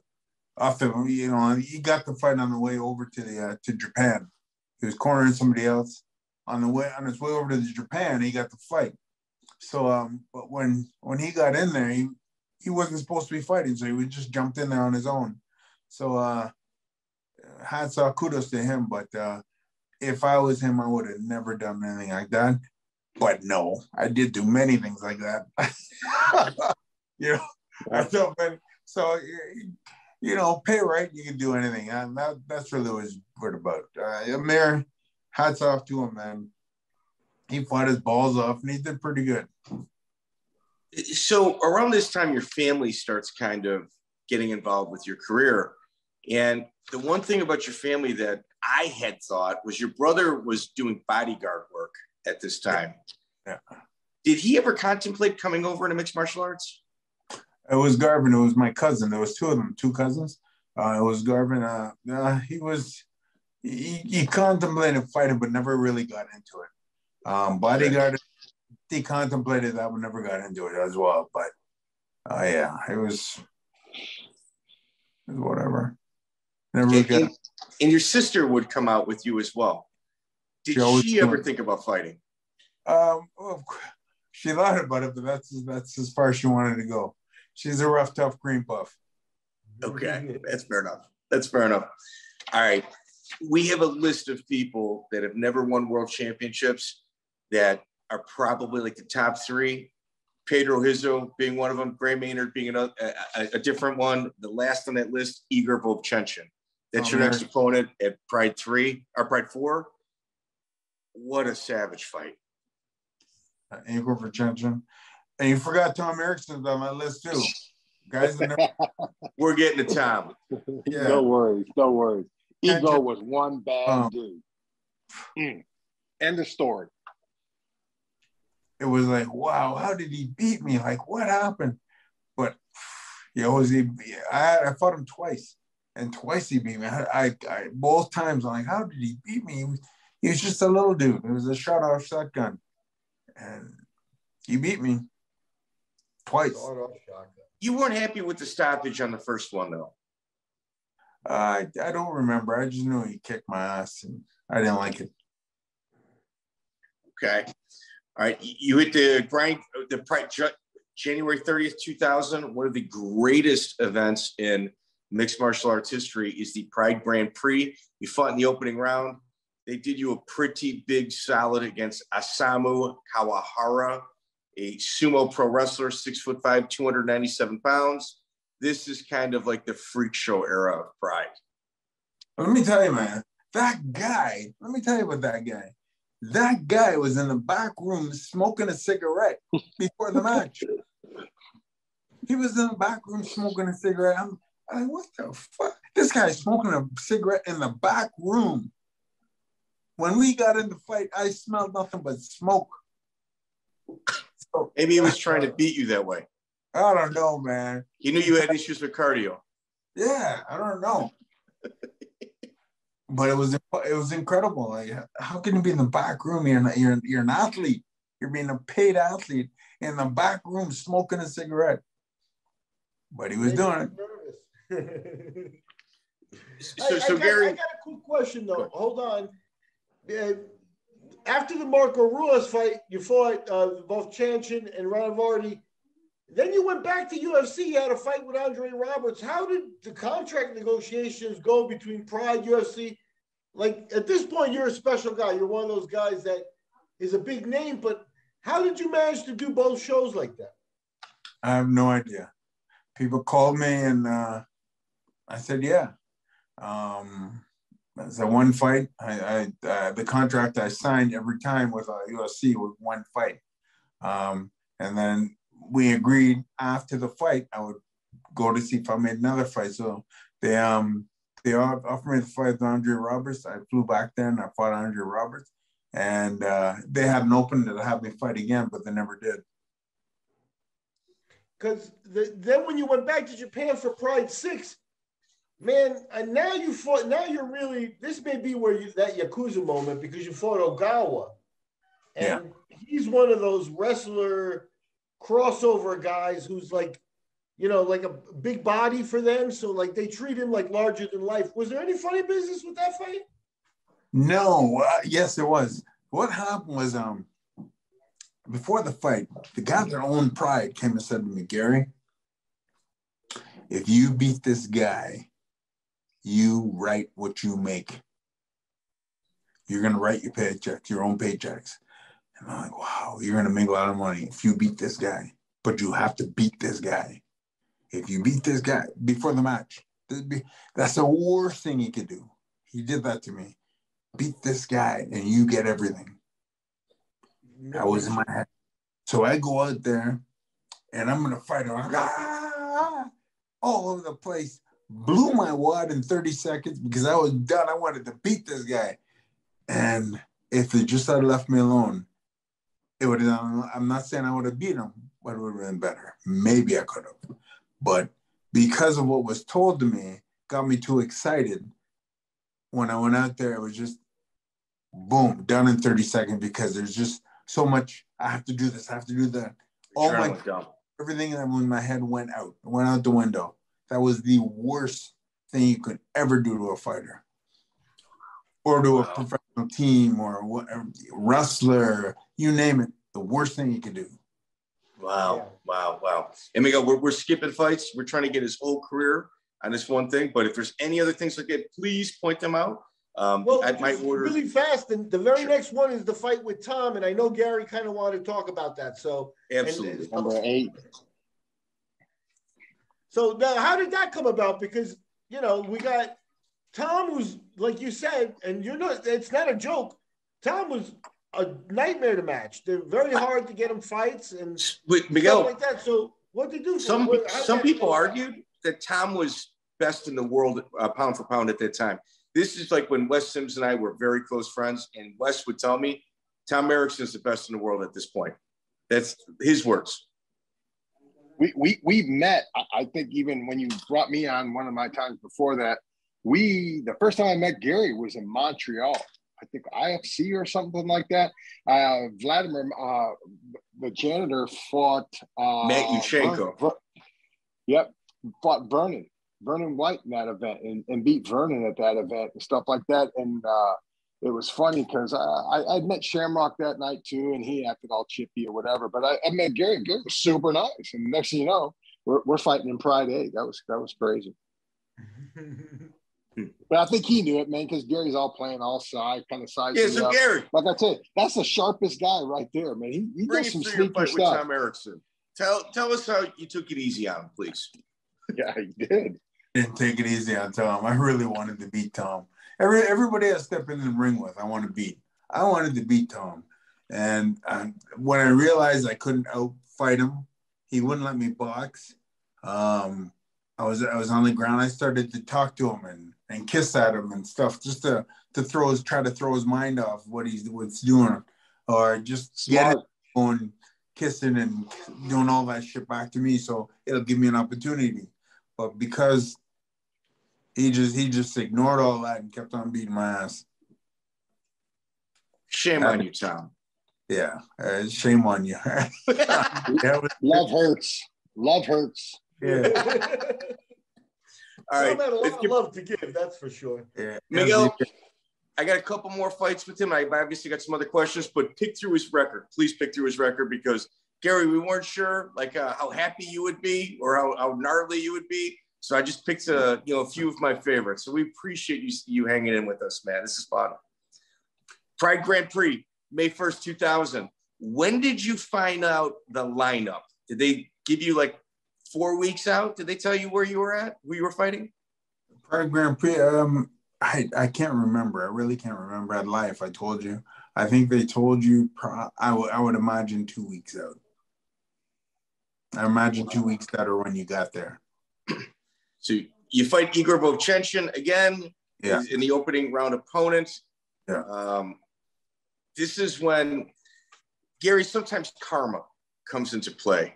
Yeah. And I think that the Pedro nut grab, um, yeah, I, I think the powers that be delivered uh, a nut shot from the gods and destroyed your cup, and Yeah. you somehow fought through it. Why don't you What? talk to us about that? That was incredible. Um, this guy, and he comes up and he hits me in the dick. Um, well, where it should be, and he dented in my cup. Do you guys remember that? You see that? He dented my cup. There was a rest down in the cup, so um, the, the referee said, "Let's go back. Go, go ahead." I said, "No, no, no, stop." Brought the referee's hand, hands to my crotch. Let him feel what's going on. So he felt the the the the dip that you know. it, it bent down. So when he crushed it, it came out, went up, grabbed my stuff, and put it back in. So right now, I'm a part of my scrotum's in the in the in the break, holding on to it with a like like a rubber band. He's holding it there. So it's it's so I, I couldn't do nothing. It, it hurt. So I, I had to bring the referee's hand to it. Then he said, "Oh." oh." oh. Then he got people because I couldn't talk to him. It wasn't it wasn't English. Called the people, have. So they put me in a thing, pull my um, my penis apart. They'll get the, the the thing from, from closing in on it, and uh, then I was able to fight. But yeah, I, had, I was bleeding pretty good after that. Miguel was a wardrobe. It was a wardrobe change. Like Gary comes out underneath the ropes. You know, it's whatever that game is families play where they they have to use their body language to describe things. It's very interesting to, to see Gary describe that his balls were trapped in his cup. It's fantastic. It is like, it's, it's excellent. So they put the towers around you. It's a whole bunch of like Asian referees. It's almost like something out of the WWE. And going like this. Yeah. Oh, it's like when in a, you know pro wrestling, where the referees run out of the locker room to kind of save the day. That's what took place. It took a village to put that cup in back in order so you could continue fighting. It was not good. That was painful. That was painful. Now, at this So- point, though, you're- you're really on Pride's roster, though, because Oh, dude, they love him. Yeah, not the not giving up thing worked. Uh, just uh, not give up and keep fighting hard. That's all they wanted. After Igor Vovchanchyn goes on to the finals against Mark Coleman, um, after beating Sakuraba, it fought 25 minutes. And um, it, it, to his credit, won four eight man tournaments and, and made it to the finals of one 16 man tournament. Um, have you spoken to Vovchanchyn lately? No, I haven't seen him since uh, since in Japan. He's in like the Ukrainian stuff. They say he's into some some pretty crazy things. I, I try to track him down. Were you surprised that Coleman won the Grand Prix that night? Um, not really. Uh, wrestling was so strong at that time to to win. Um, that point in MMA, wrestling was so dominant in what they were doing that how you if you fought a wrestler, you're you're ninety percent gonna lose. An elite wrestler. Elite wrestling. Who did you would have think would have won between Mark Kerr and Mark Coleman, Gary? Probably Mark Coleman. Tom, Coleman. you guys say that with a an era like an aura of, of very positive, very positive. I told Me- I've told you before. I've done interviews. Col- Coleman loved to fight. Col- Col- Col- was he the best? I, I, no, he'll probably kill me for saying no. He's, he's not the best. He loved to fight. Mark loved to get paid. Now Gary, Gary liked to get paid. I like to get paid, but he was willing to fight for it. Uh, I'm willing to fight for it. Kerr fought when it was comfortable for him and liked to get paid, and he was very skilled. And that's why he did well. But Coleman loved to fight. So in our Jon Fitch interview, one of your students at, at Purdue, he had said that you were doing this fight thing and it was just more kind of supplementing your lifestyle. You didn't really go into it all in, and your most of your training camps were in a Purdue wrestling room. Is, is that true, Tom? Yes. Now, some some of those camps we brought Kerr and Wes. Wes came over to our place one time and Yeah. trained in a, cy- training cycle. Gary would come down and train with me. Uh, I I would actually. Gary's kind of partly the guy responsible for ruining my career too. He he uh, really, me up- Gary? he, he brought me up to Base Borden, and that was a little training camp, a military training camp up there. And we train up there, but he uh, he started teaching me how to work my hands. I used to hit heavy, but I learned how to punch. I learned how to kick. Gary taught me. Well, his his people and stuff like that, Paul Minhas and his crew up there, uh, Ultimate Muay Thai, they, they kind of started training me how to how to use my hands and Chris the snap, etc. And, and man, ain't nothing better than knocking the dude out. Uh, and, and you start forgetting some of your roots and uh, I still like my chances against about anybody, but whatever. For sure. Gary, w- one of the interesting things in your career that I, I could find, and there's very little on it, um, you were supposed to fight Butterbean in YAMMA, and Mark Pavelich from MFC, I think, sent his legal team in order to stop that fight from taking place. What exactly happened in that situation? I have no idea. Um, I, I didn't really want to fight Butterbean either because uh, it, it was going to be a hard fight. Um, and I, I didn't want to fight him. It was it was going to be a hard fight, and I, and I really never I've never ducked anybody. I didn't duck Butterbean either, but that was going to be a hard fight. You're, you're that, that fight where you were going to get knocked out. Am I afraid to get knocked out? No, I didn't. It didn't bother me. Am I afraid to get a beat? No, it didn't bother me. It was just it was just going to be a hard fight. And yeah, they asked me to take the fight. I said, yeah, absolutely, let's go. Uh, they said okay to me. I said okay, and then they went to his corner. It wouldn't it wouldn't fly. Butterbean, I, I think, is undervalued as a tough competitor. Very that much. guy hit like a brick, like a brick shit house. Uh, when, when he fought Cabbage Correa the first time, Cabbage Correa was like, "I'm not taking you down, Butterbean. We're going to stand and trade." And Butterbean's like, "Yeah, I think you're lying to me." And a Cabbage stood and trade with him and got knocked out. And this was a fight where Butterbean had to take his mouthpiece out so he can spit the shards of his teeth out that that Cabbage Correa knocked out. And Cabbage Correa obliged. Go ahead, fix yourself. When you're ready, let me know. Butterbean Correa, it, one is an incredible fight. Eric Esch. Yes. Mm-hmm. Yeah, Eric Esch. Mike Bernardo, you guys did a K1 fight. yeah. The first time you Yes, came in as a, you, you too, Tom. Yes, in as well, Shannon Briggs. When you fought Mike Bernardo the first time, you came in as a heavy underdog. They brought you in just to kind of serve you up, and with a big upset, you you stopped Bernardo. What was the locker room like afterward? Because from my understand, it was heated. Oh yeah, it was uh it was heated, uh, undecided of uh win or loss. It, it was undecided because a lot of people that uh, that loved him, that trained with him, was in the same dressing room. So yeah, it was a little heated, but c'est la vie. Well, for the rematch, you made sure you had Coleman and Erikson in your corner. Yeah, yeah. Was it for support, or did you guys think? No, man, was- these guys had to watch my back. These guys had to watch my back. You know what that was going on? Can you imagine Erikson and Coleman watching your back? Holy Yeah. shit! Yeah. Now, wait, wait, Tom. What do you remember about those fights? Uh, didn't like him. Didn't like Bernardo. Didn't like his camp.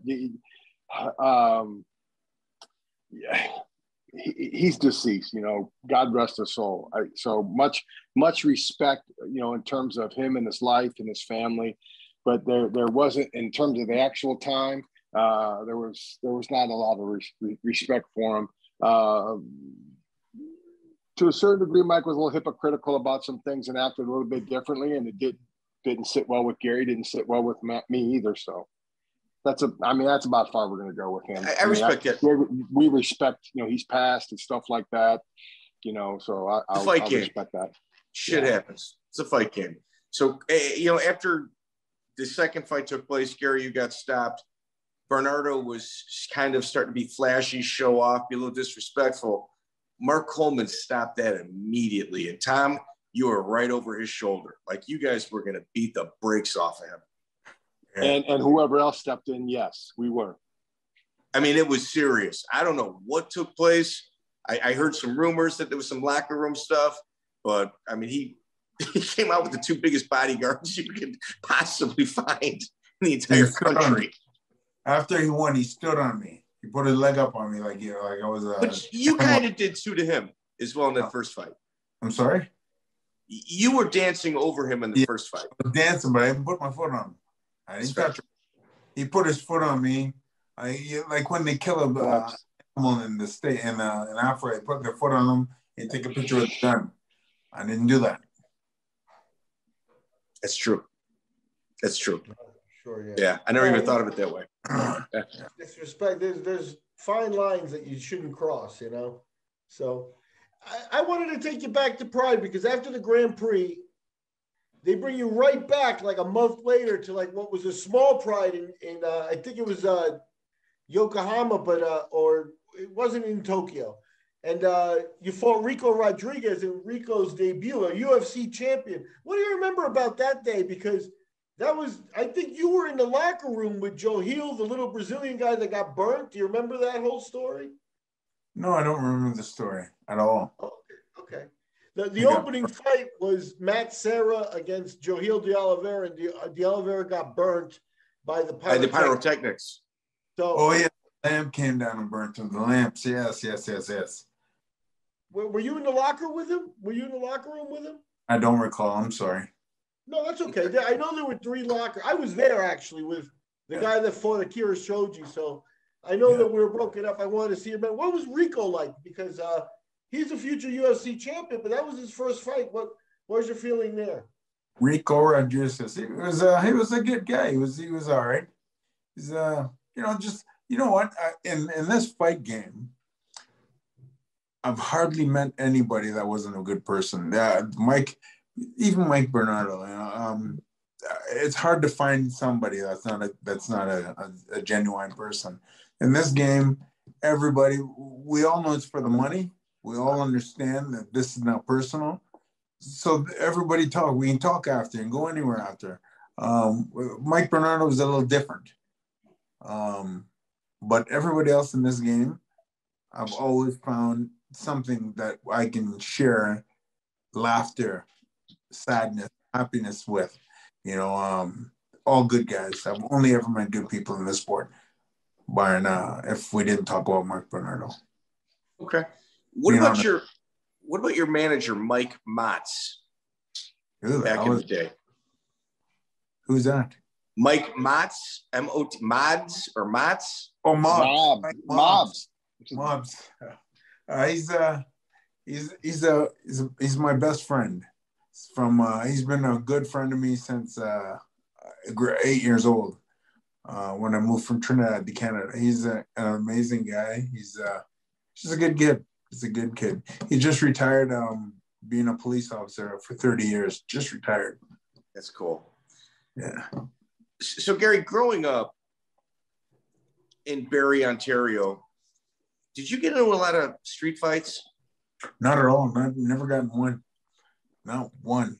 When was the first time you got punched in the face? The first time I got punched in the face was uh, I was doing boxing, training for boxing. Okay. That's wild. Yeah. And you you you go from a, being a welder at the Honda plant all Yeah. the way to being on pay per view. Yes. The transition was that difficult? You, you know, it was it was difficult. Uh, no, it was all money based. Everything was money based. You know, I at Honda, I got fired from Honda. They they The fired. shipping company. Didn't you have a shipping company after the Honda job? Yeah, I did. Uh, I owned a shipping company. Yes, What did you get fired for? I got fired for stealing a donut out of the cafeteria. Um, I got fired for stealing a donut out of. I threw away a fifty thousand dollar a year job for a donut in the cafeteria. Never happened. Till till today, and that's never happened. But somebody said they saw me stealing a donut out of the cafeteria, and they fired me for that. Um, Is- Were because you guys a union? Were you union? no, it wasn't union. But Yeah, it um, couldn't have yeah, been union. Yeah, So you then would have I- done it too. as soon as I got fired, um, I decided I got to fight full time. I got to go all the way with this fighting game. So that's what happened. That's terrible. Yeah. That's no, right. it's not because now I'm retired. I don't have to worry about bullshit. I live well. I have a nice house, nice woman, nice Then friends. you might still be working at that plant. Yeah. Yeah, I would have just retired. Yeah. Uh, great friends, great memories that I can, you know, tell my grandkids, my great great grandkids, if I live that long. You know, I it's it, I took a better path as far as I'm concerned. I took a much better path. My Saw body, the world. but that's life. That's everybody's body is sore. Now, Tom I- I, Erikson. got I got I got one I gotta get. Mike, I I I, I'm, I got you covered. You know I got you covered. Gary, you said you met good people in the sport and stuff like that. Tell people about your experiences fighting Gilbert Yvel and Bob Schrijber because they got the reputation of being two of the baddest boys out there. So Yeah. why, don't you, why don't you share with us how that goes? I got Gilbert Yvel and Bob Schrijber. Uh, Gilbert Yvel was just man, that was a fluke. Just the, how I uh, how I fluked with um with Paul Herrera. It was just I fed into his arms. The same thing he done after he kicked me in the head. I said, okay, I got to beat somebody that way. That's how come my Frye got that kick. Um, if, if he didn't do that to me, Frye would have never got that kick.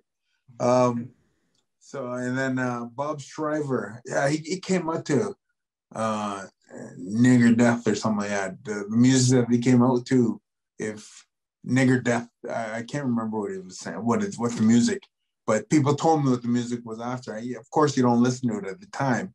Your mind is going about fighting. But um, yeah, Bob Schrijber, yeah, it was. I found him a nice guy. I, I didn't find that he was an asshole.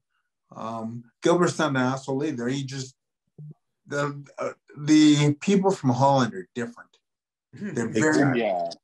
yeah, and and it's Yeah. not it's not the individual. It's the people from Holland. Everyone I know from Holland is very different. They're very Wow. So, G- Gary, we, we're trying to interview Bob Schrijber. Someone's got to teach him how to download the Zoom app. I Yeah. have got a list of all of the people that were murdered from like the 90s of from the Dutch MMA kickboxing scene. Yeah. He's one of the few that are still living that Yeah. were involved that early. uh, it's a little different. They're they're, they're a little Different. different.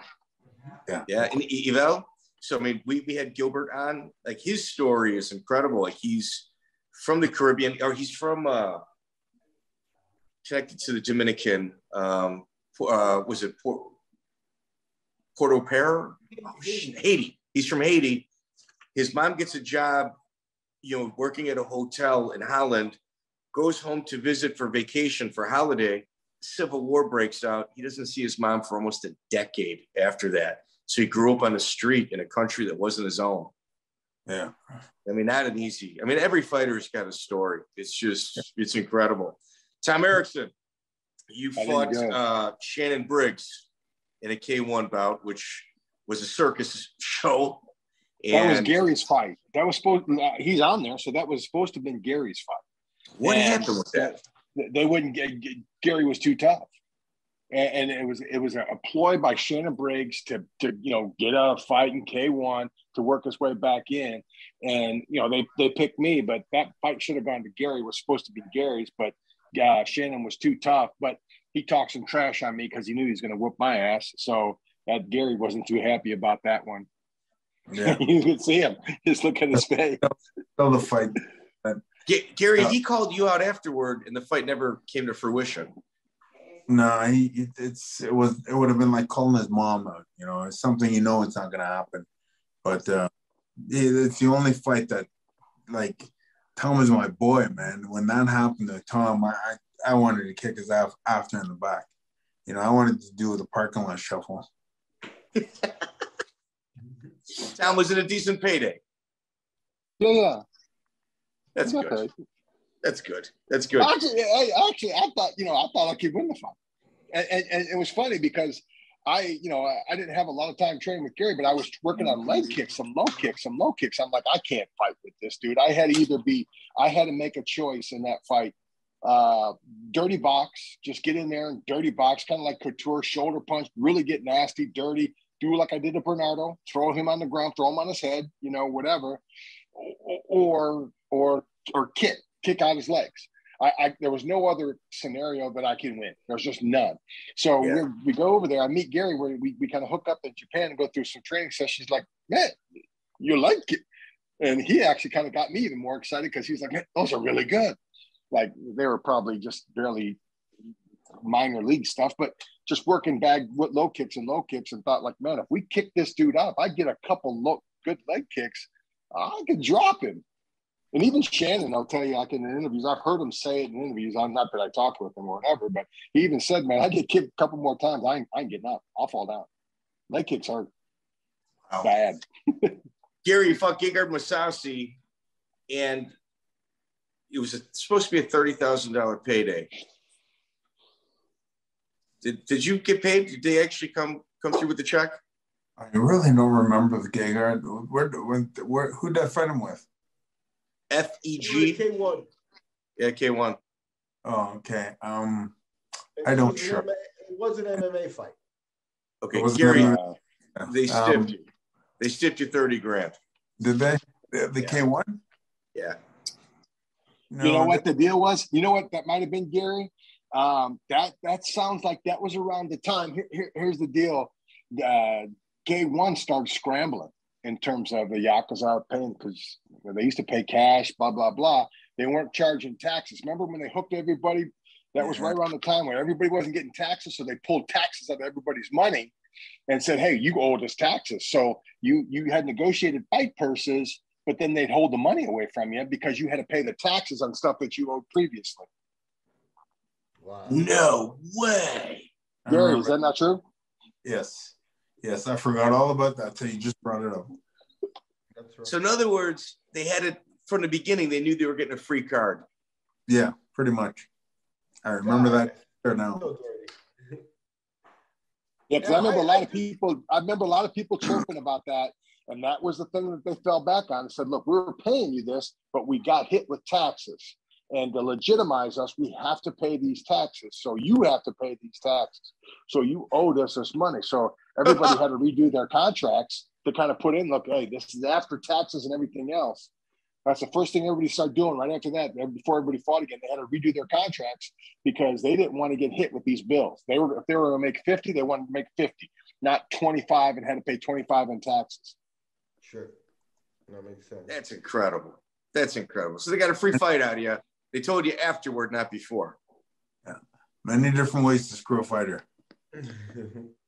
Uh, if now, I got, that was even I got true. Potentially another one. And that, how was your fight with Fedor? Because that's what I got. Let me get that, Miguel. Yeah, August 10, 2003, Pride Total Elimination. Fedor Emelianenko. And at this time, Fedor was with the Russian top team. Yeah, I fought Fedor. Um, he was, I didn't find him overly strong or overly um, anything. What happened? How how he, he blitzed me so he was here, going no, no, then boom, 100%. And, and that just shocked me because of how it happened. It just here, here, then, wow. And I was like, holy wow. And I'm taking punches all over the place before I even knew what happened. The fight's over. But that burst, just uh, from zero to 100%, it, it shocked me. Cut your rhythm. Yeah. It just, it shocked me. I, I was done. Yeah, it's amazing. Yeah, I was expecting a little jab, you know, but he went, yeah, so yeah. So you had talked about your your time that you bonded with Tom Erikson. How Yeah. did you and Mark Coleman become so close? Um, I, I went to, to Mark Coleman's house and started training.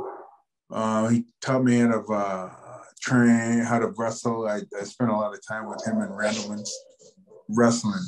And then after um after that uh, after that Tom and I met, I was there instead.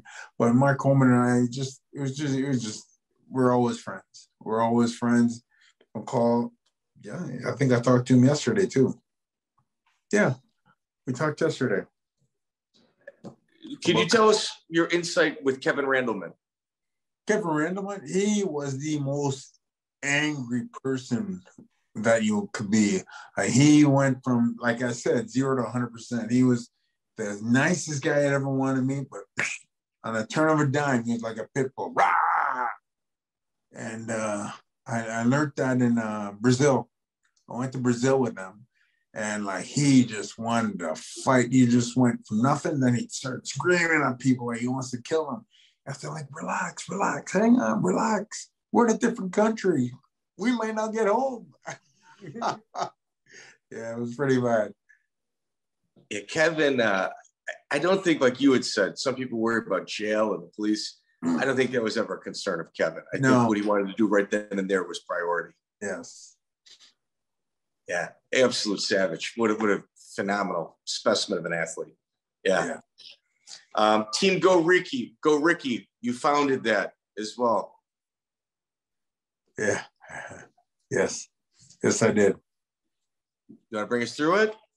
Uh, I was just Goriki's. Uh, they gave me the name in, in Japan, and I believe it's probably maybe gatekeeper, but uh, they gave me Goriki. They said uh, Goriki, that's superhuman strength. That's what it means. So, uh, so I put the tattoo. I embraced the name. Yeah, I got superhuman strength. So I embraced the name, embraced what they gave me, and that's who I was. That was fantastic. So, so Gary, in 2012, you got diagnosed with uh, CTE. Yeah. Uh, What what steps are you doing in order to kind of make sure you exercise your brain or feed it vitamins? Well, first, first of all, what, what I have to do is I have to maintain a proper diet. I have to maintain things per day of what I want to do, of how I'm going to do it. And I just got to be vigilant of what I'm doing and how I'm doing things and, uh, and go over the, the, the next day, the night before. Um, it, it's, and memory is it's just, um, CTE is really memory. It's your memory, um, your and, and then cognizant uh, with your with your body structure, your mind, your your uh, the connection between your mind and your your your your limbs. Um, right now, uh, I forget. Yes, I forget, but I've done pretty good tonight. You- Gary, you've been phenomenal. G- Gary, But- you've been amazing, and not only that, like, and now you've been good tonight. I kind of limited the fights, and yeah, and you've really given us a lot, man. It's greatly appreciated. Thank you. But here, here's the thing with that. With CTE, the, the long-term memory is impeccable. You can't scratch from long term. I remember things from when I couldn't even walk. From way back then when I couldn't even when I was crawling. As I remember things from way back then. But CTE is, is your your long-term memory is impeccable. Is what you did yesterday. That that that's what you found problems with. What did I do last day? I can't remember if I had to think about it got to really think what did happen yesterday. Yeah, that's the If key. you if you tried psilocybin in order to help, uh, suicide. Yeah, you know, you you, you psilocybin. no, no. Psilocybin mushrooms. oh, um, no, I Question, never. what's wrong with you?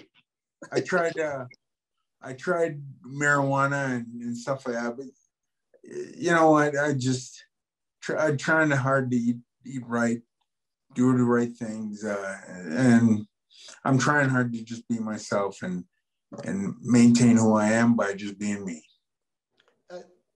I, I, I got a question for you in regards to the CTE. Now, you fought before Zuffa in the UFC and before that, but has the modern UFC, you know, offered any kind of uh, assistance or any kind of respect to, to to know what you know what you've been through there? Or? No, it's you, know when when you get into this business, I, I don't I don't think anyone says I'm going into business to get C, um, dementia and I'm going into I'm not going into this business to get CTE. Nobody says that, but you go into it and you enjoy yourself. I mean, I was one of the pioneers. Tom and I were both one of the pioneers. We started the game. There's there's things that the pioneers have to pay to pave the way for the people that are there now. Uh, we paved the way, the way how we did, and so the people can have what they have. Am I sorry about it? No. I, do I care? Not really. I, I'm I'm okay. I'm humble. I have a nice home. I have a nice woman. That's all I need. I'm great friends, great memories. Um, what else can I ask for? I've lived a great life, you know, and, and I'm still living. I've had no, a good time. That's fantastic. That's, here I am. Here I am on this phone call, uh, finishing up COVID with three great guys right now. You know, what else do I want? You know, I, I live a good life, man. I tell you what else. I know what else. African African Fighting Championship in Nairobi, December. I, I said AFC. Yeah, I'm really happy with that's a project I'm so happy and excited about.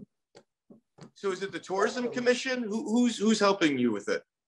Um, nobody's helping me with it. I'm doing it myself with uh there it is, Tom. Put it up there. Let me see it. AFC. There we go. There's a lady that's lawyer cool. that's helping him, right? Yeah, there's a woman that's a lawyer over there her and I are just trying to do it ourselves, you know, petting our way through it, stepping through it. Yeah, I'm excited. That's fantastic. Uh, yeah. Another name that we should probably bring up Gary Myers.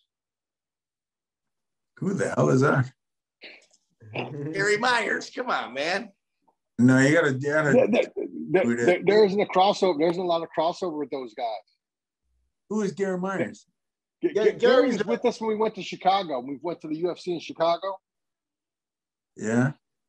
He, he was with us at, when we were at Cage Side uh, in the at the fights in Chicago that one time. We well, the last time it's been years ago, whatever. Fantastic but, person. He he kind of helped connect us with this interview. Yeah. He helped, he hooked us up with Tom. So so we owe Gary this whole tree of interviews.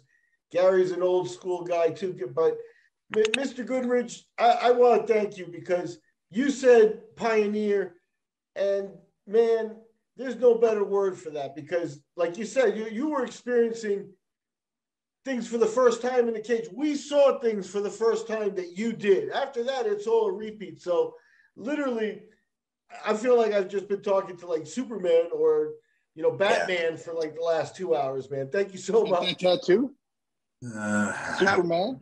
It's Tom Erikson. Tattoo. Any closing uh, remarks for you, Tom?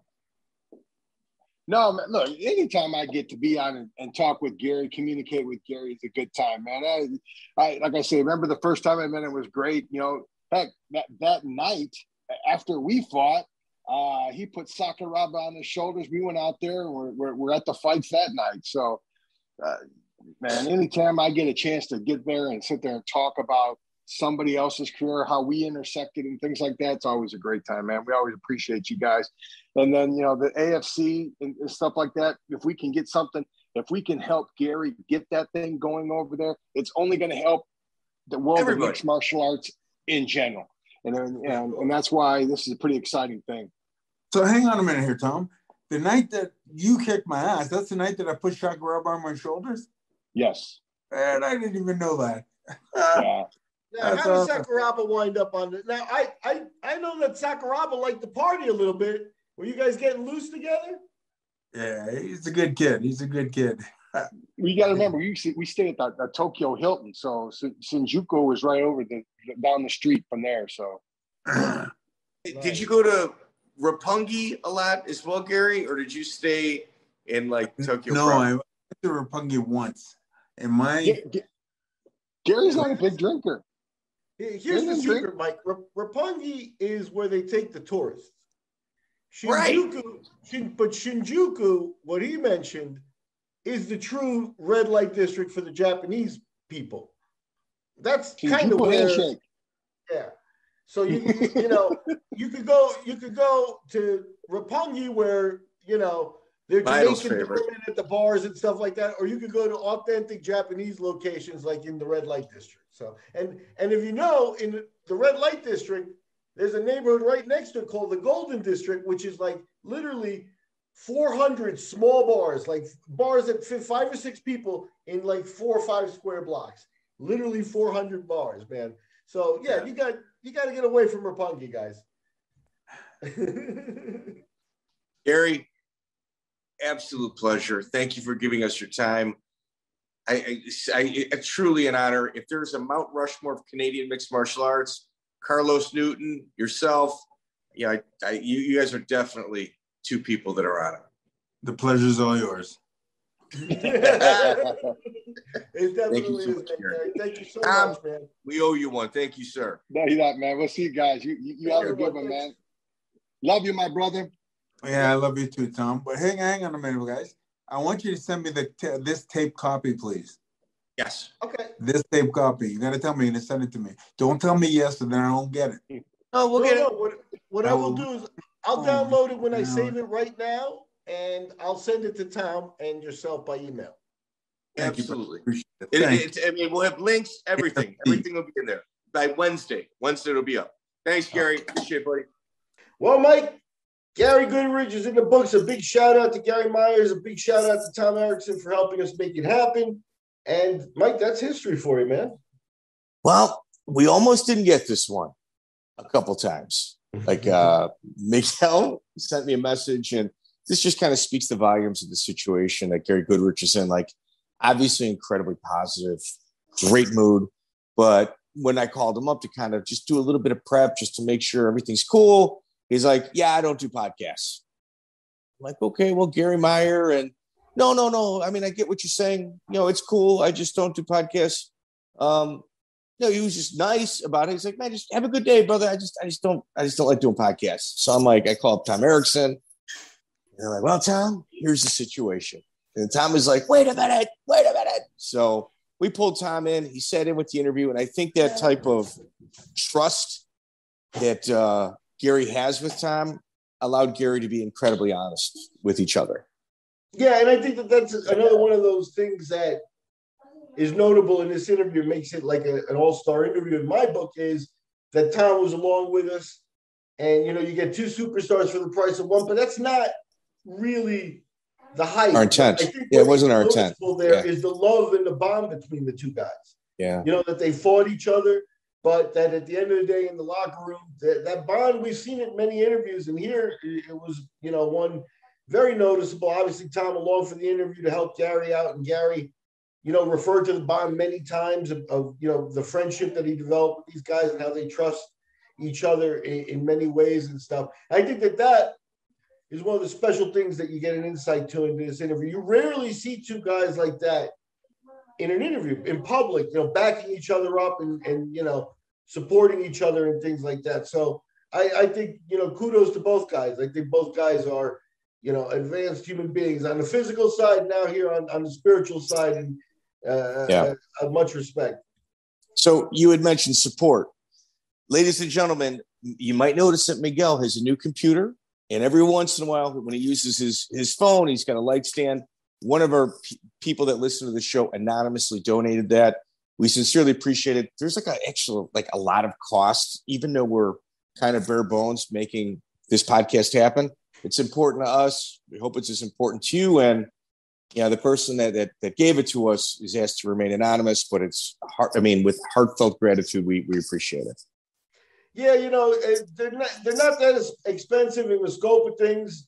Um, but you know, life goes on. We're all kind of doing this as a, a, a labor of love. Uh, you know, Mike deserves a big shout out because he he does take on a lot of the financial burden along with Chris. You know, I'm stuck here in Costa Rica, kind of out of loop on a lot of things. So yeah, you know, it, it's definitely something that now that we made a comeback and we're down to one interview a week, I think you know, it's definitely sustainable, but I think that it would be nice to see some more love and support, not, you know, for a light or anything like that, but for longevity. Because I think, you know, there are hundreds and hundreds, thousands of interviews really that need to be done. So, yeah, yeah. And on top of that, Miguel, um, this podcast is also not only is it growing because we're looking at the numbers, but it's also opening up avenues of of work for both Miguel and I. Miguel, you landed a matchmaker job with Anthony Showtime Pettis for for his Fight Pass show.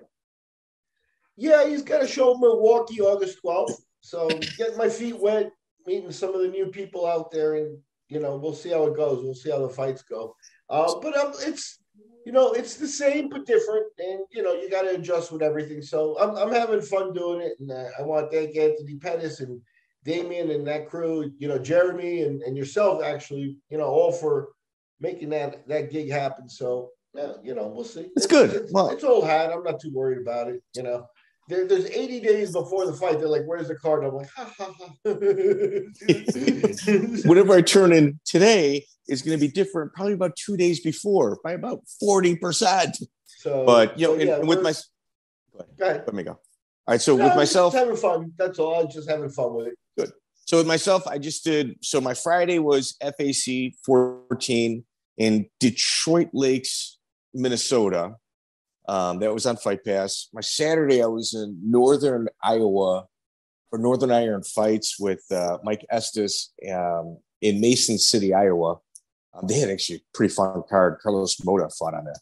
And um, Sunday, I flew home. I was dead, but man, we had Gary Goodridge. Like it was kind of one of those we got the research done, which was done a long time ago. There's certain people that we kind of just have done for emergency purposes. This was one of them. So I was I was wiped out. Yeah, no, um, you got you, you, there's some that you just you got to move them out and do. And I think Gary, as you mentioned, uh, you know, a, a pioneer, a, a Canadian Mount Rushmore of MMA, kind of for sure, right? Would you agree with that? Yeah, for sure. You know, and you know, we you, you hear the CTE's been around now for about 10 years in public that he's had it. And you know, since then, obviously the interviews and the number of times he's appeared like that are very, very limited.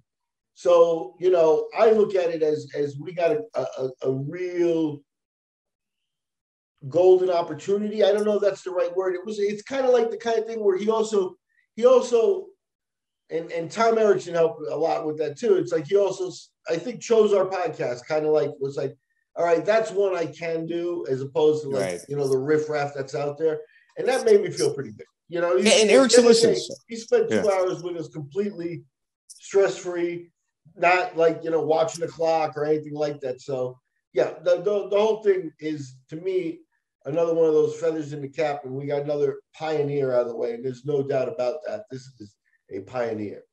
Yeah, and um, we hope to have Coleman in the next few weeks. He's like he's a friend of the show. Mark Coleman is a friend of this show, and that's how difficult he is to kind of wrangle in. So um, we mentioned it. He agreed a couple days ago. It'll definitely happen, but it might not be on the timeline that we hope for. So, um, also another person that should be on our radar is Babalu. He also is suffering from uh, fighter dementia, and we um, we really and we reached out to him several times. We just can't connect. So, if anybody out there can help us with with with Babalu, man, he's an absolute pioneer and somebody that I think would fit well in our system. Yeah, you know, I, I wonder how his English is because I don't know, but It's pretty good. I've, I've heard a couple interviews. I know that he's been Yeah. he's been around for so long. I was actually at I remember when he came. It, this is an interesting story. He fought on one of the IBCs. I think it was where Hinkle fought Beretta, and uh, he showed up and he was with the Ruas team and Rizzo and those guys. So he was not a jiu-jitsu guy, and he had a wrestling shirt on. It said you know, something along the line. It wasn't like it was one of those things that we later on would associate with MMA, sort of like, you know, Like embrace the grind or something? Body, or it was something like that. Wrestling is, you know, something. It was a pure wrestling shirt, and that was a connection he immediately had with Coleman and Hinkle. So it was a, you know, it was an interesting he's been every bit of a pioneer too, uh, you know, from those old days and stuff. And and you, you get sad when you think about, uh, you know, this type of thing catching up to him. You know, uh, one of the other, you know, to put a cap on the Gary Goodridge interview, one of the other things that's so, like, to me, heartwarming about that interview is if there was ever a dude who could be bitter at this sport you know, it, it took so much away from him, you know, upstairs. You know, he's diagnosed and, and suffers with short term memory, as he mentioned. Um, he gave so much in the ring. You know, he lives well and he's taken care of. He's got his home and things like that. But I don't think, you know, that he's got five or ten million dollars in the bank from the sport. That's kind of really weird. A guy, guys like that, you kind of had a hope, you know, that they would be. And he's not bitter you know, and that's the part of it that I found to be uplifting about the Gary Goodridge interview is like boxers from the old days, you know, they went out so ugly sometimes and there were such sad stories and things. And, you know, those are still few and far between in MMA. You know, there's yeah, mired you know, with drugs and alcohol. Yeah, and, you know, you know was, I, I yeah. know they're coming, and that's the kind of thing that's scary. You know, they Ooh. may be out there in the sport. We haven't done them up yet, or whatever.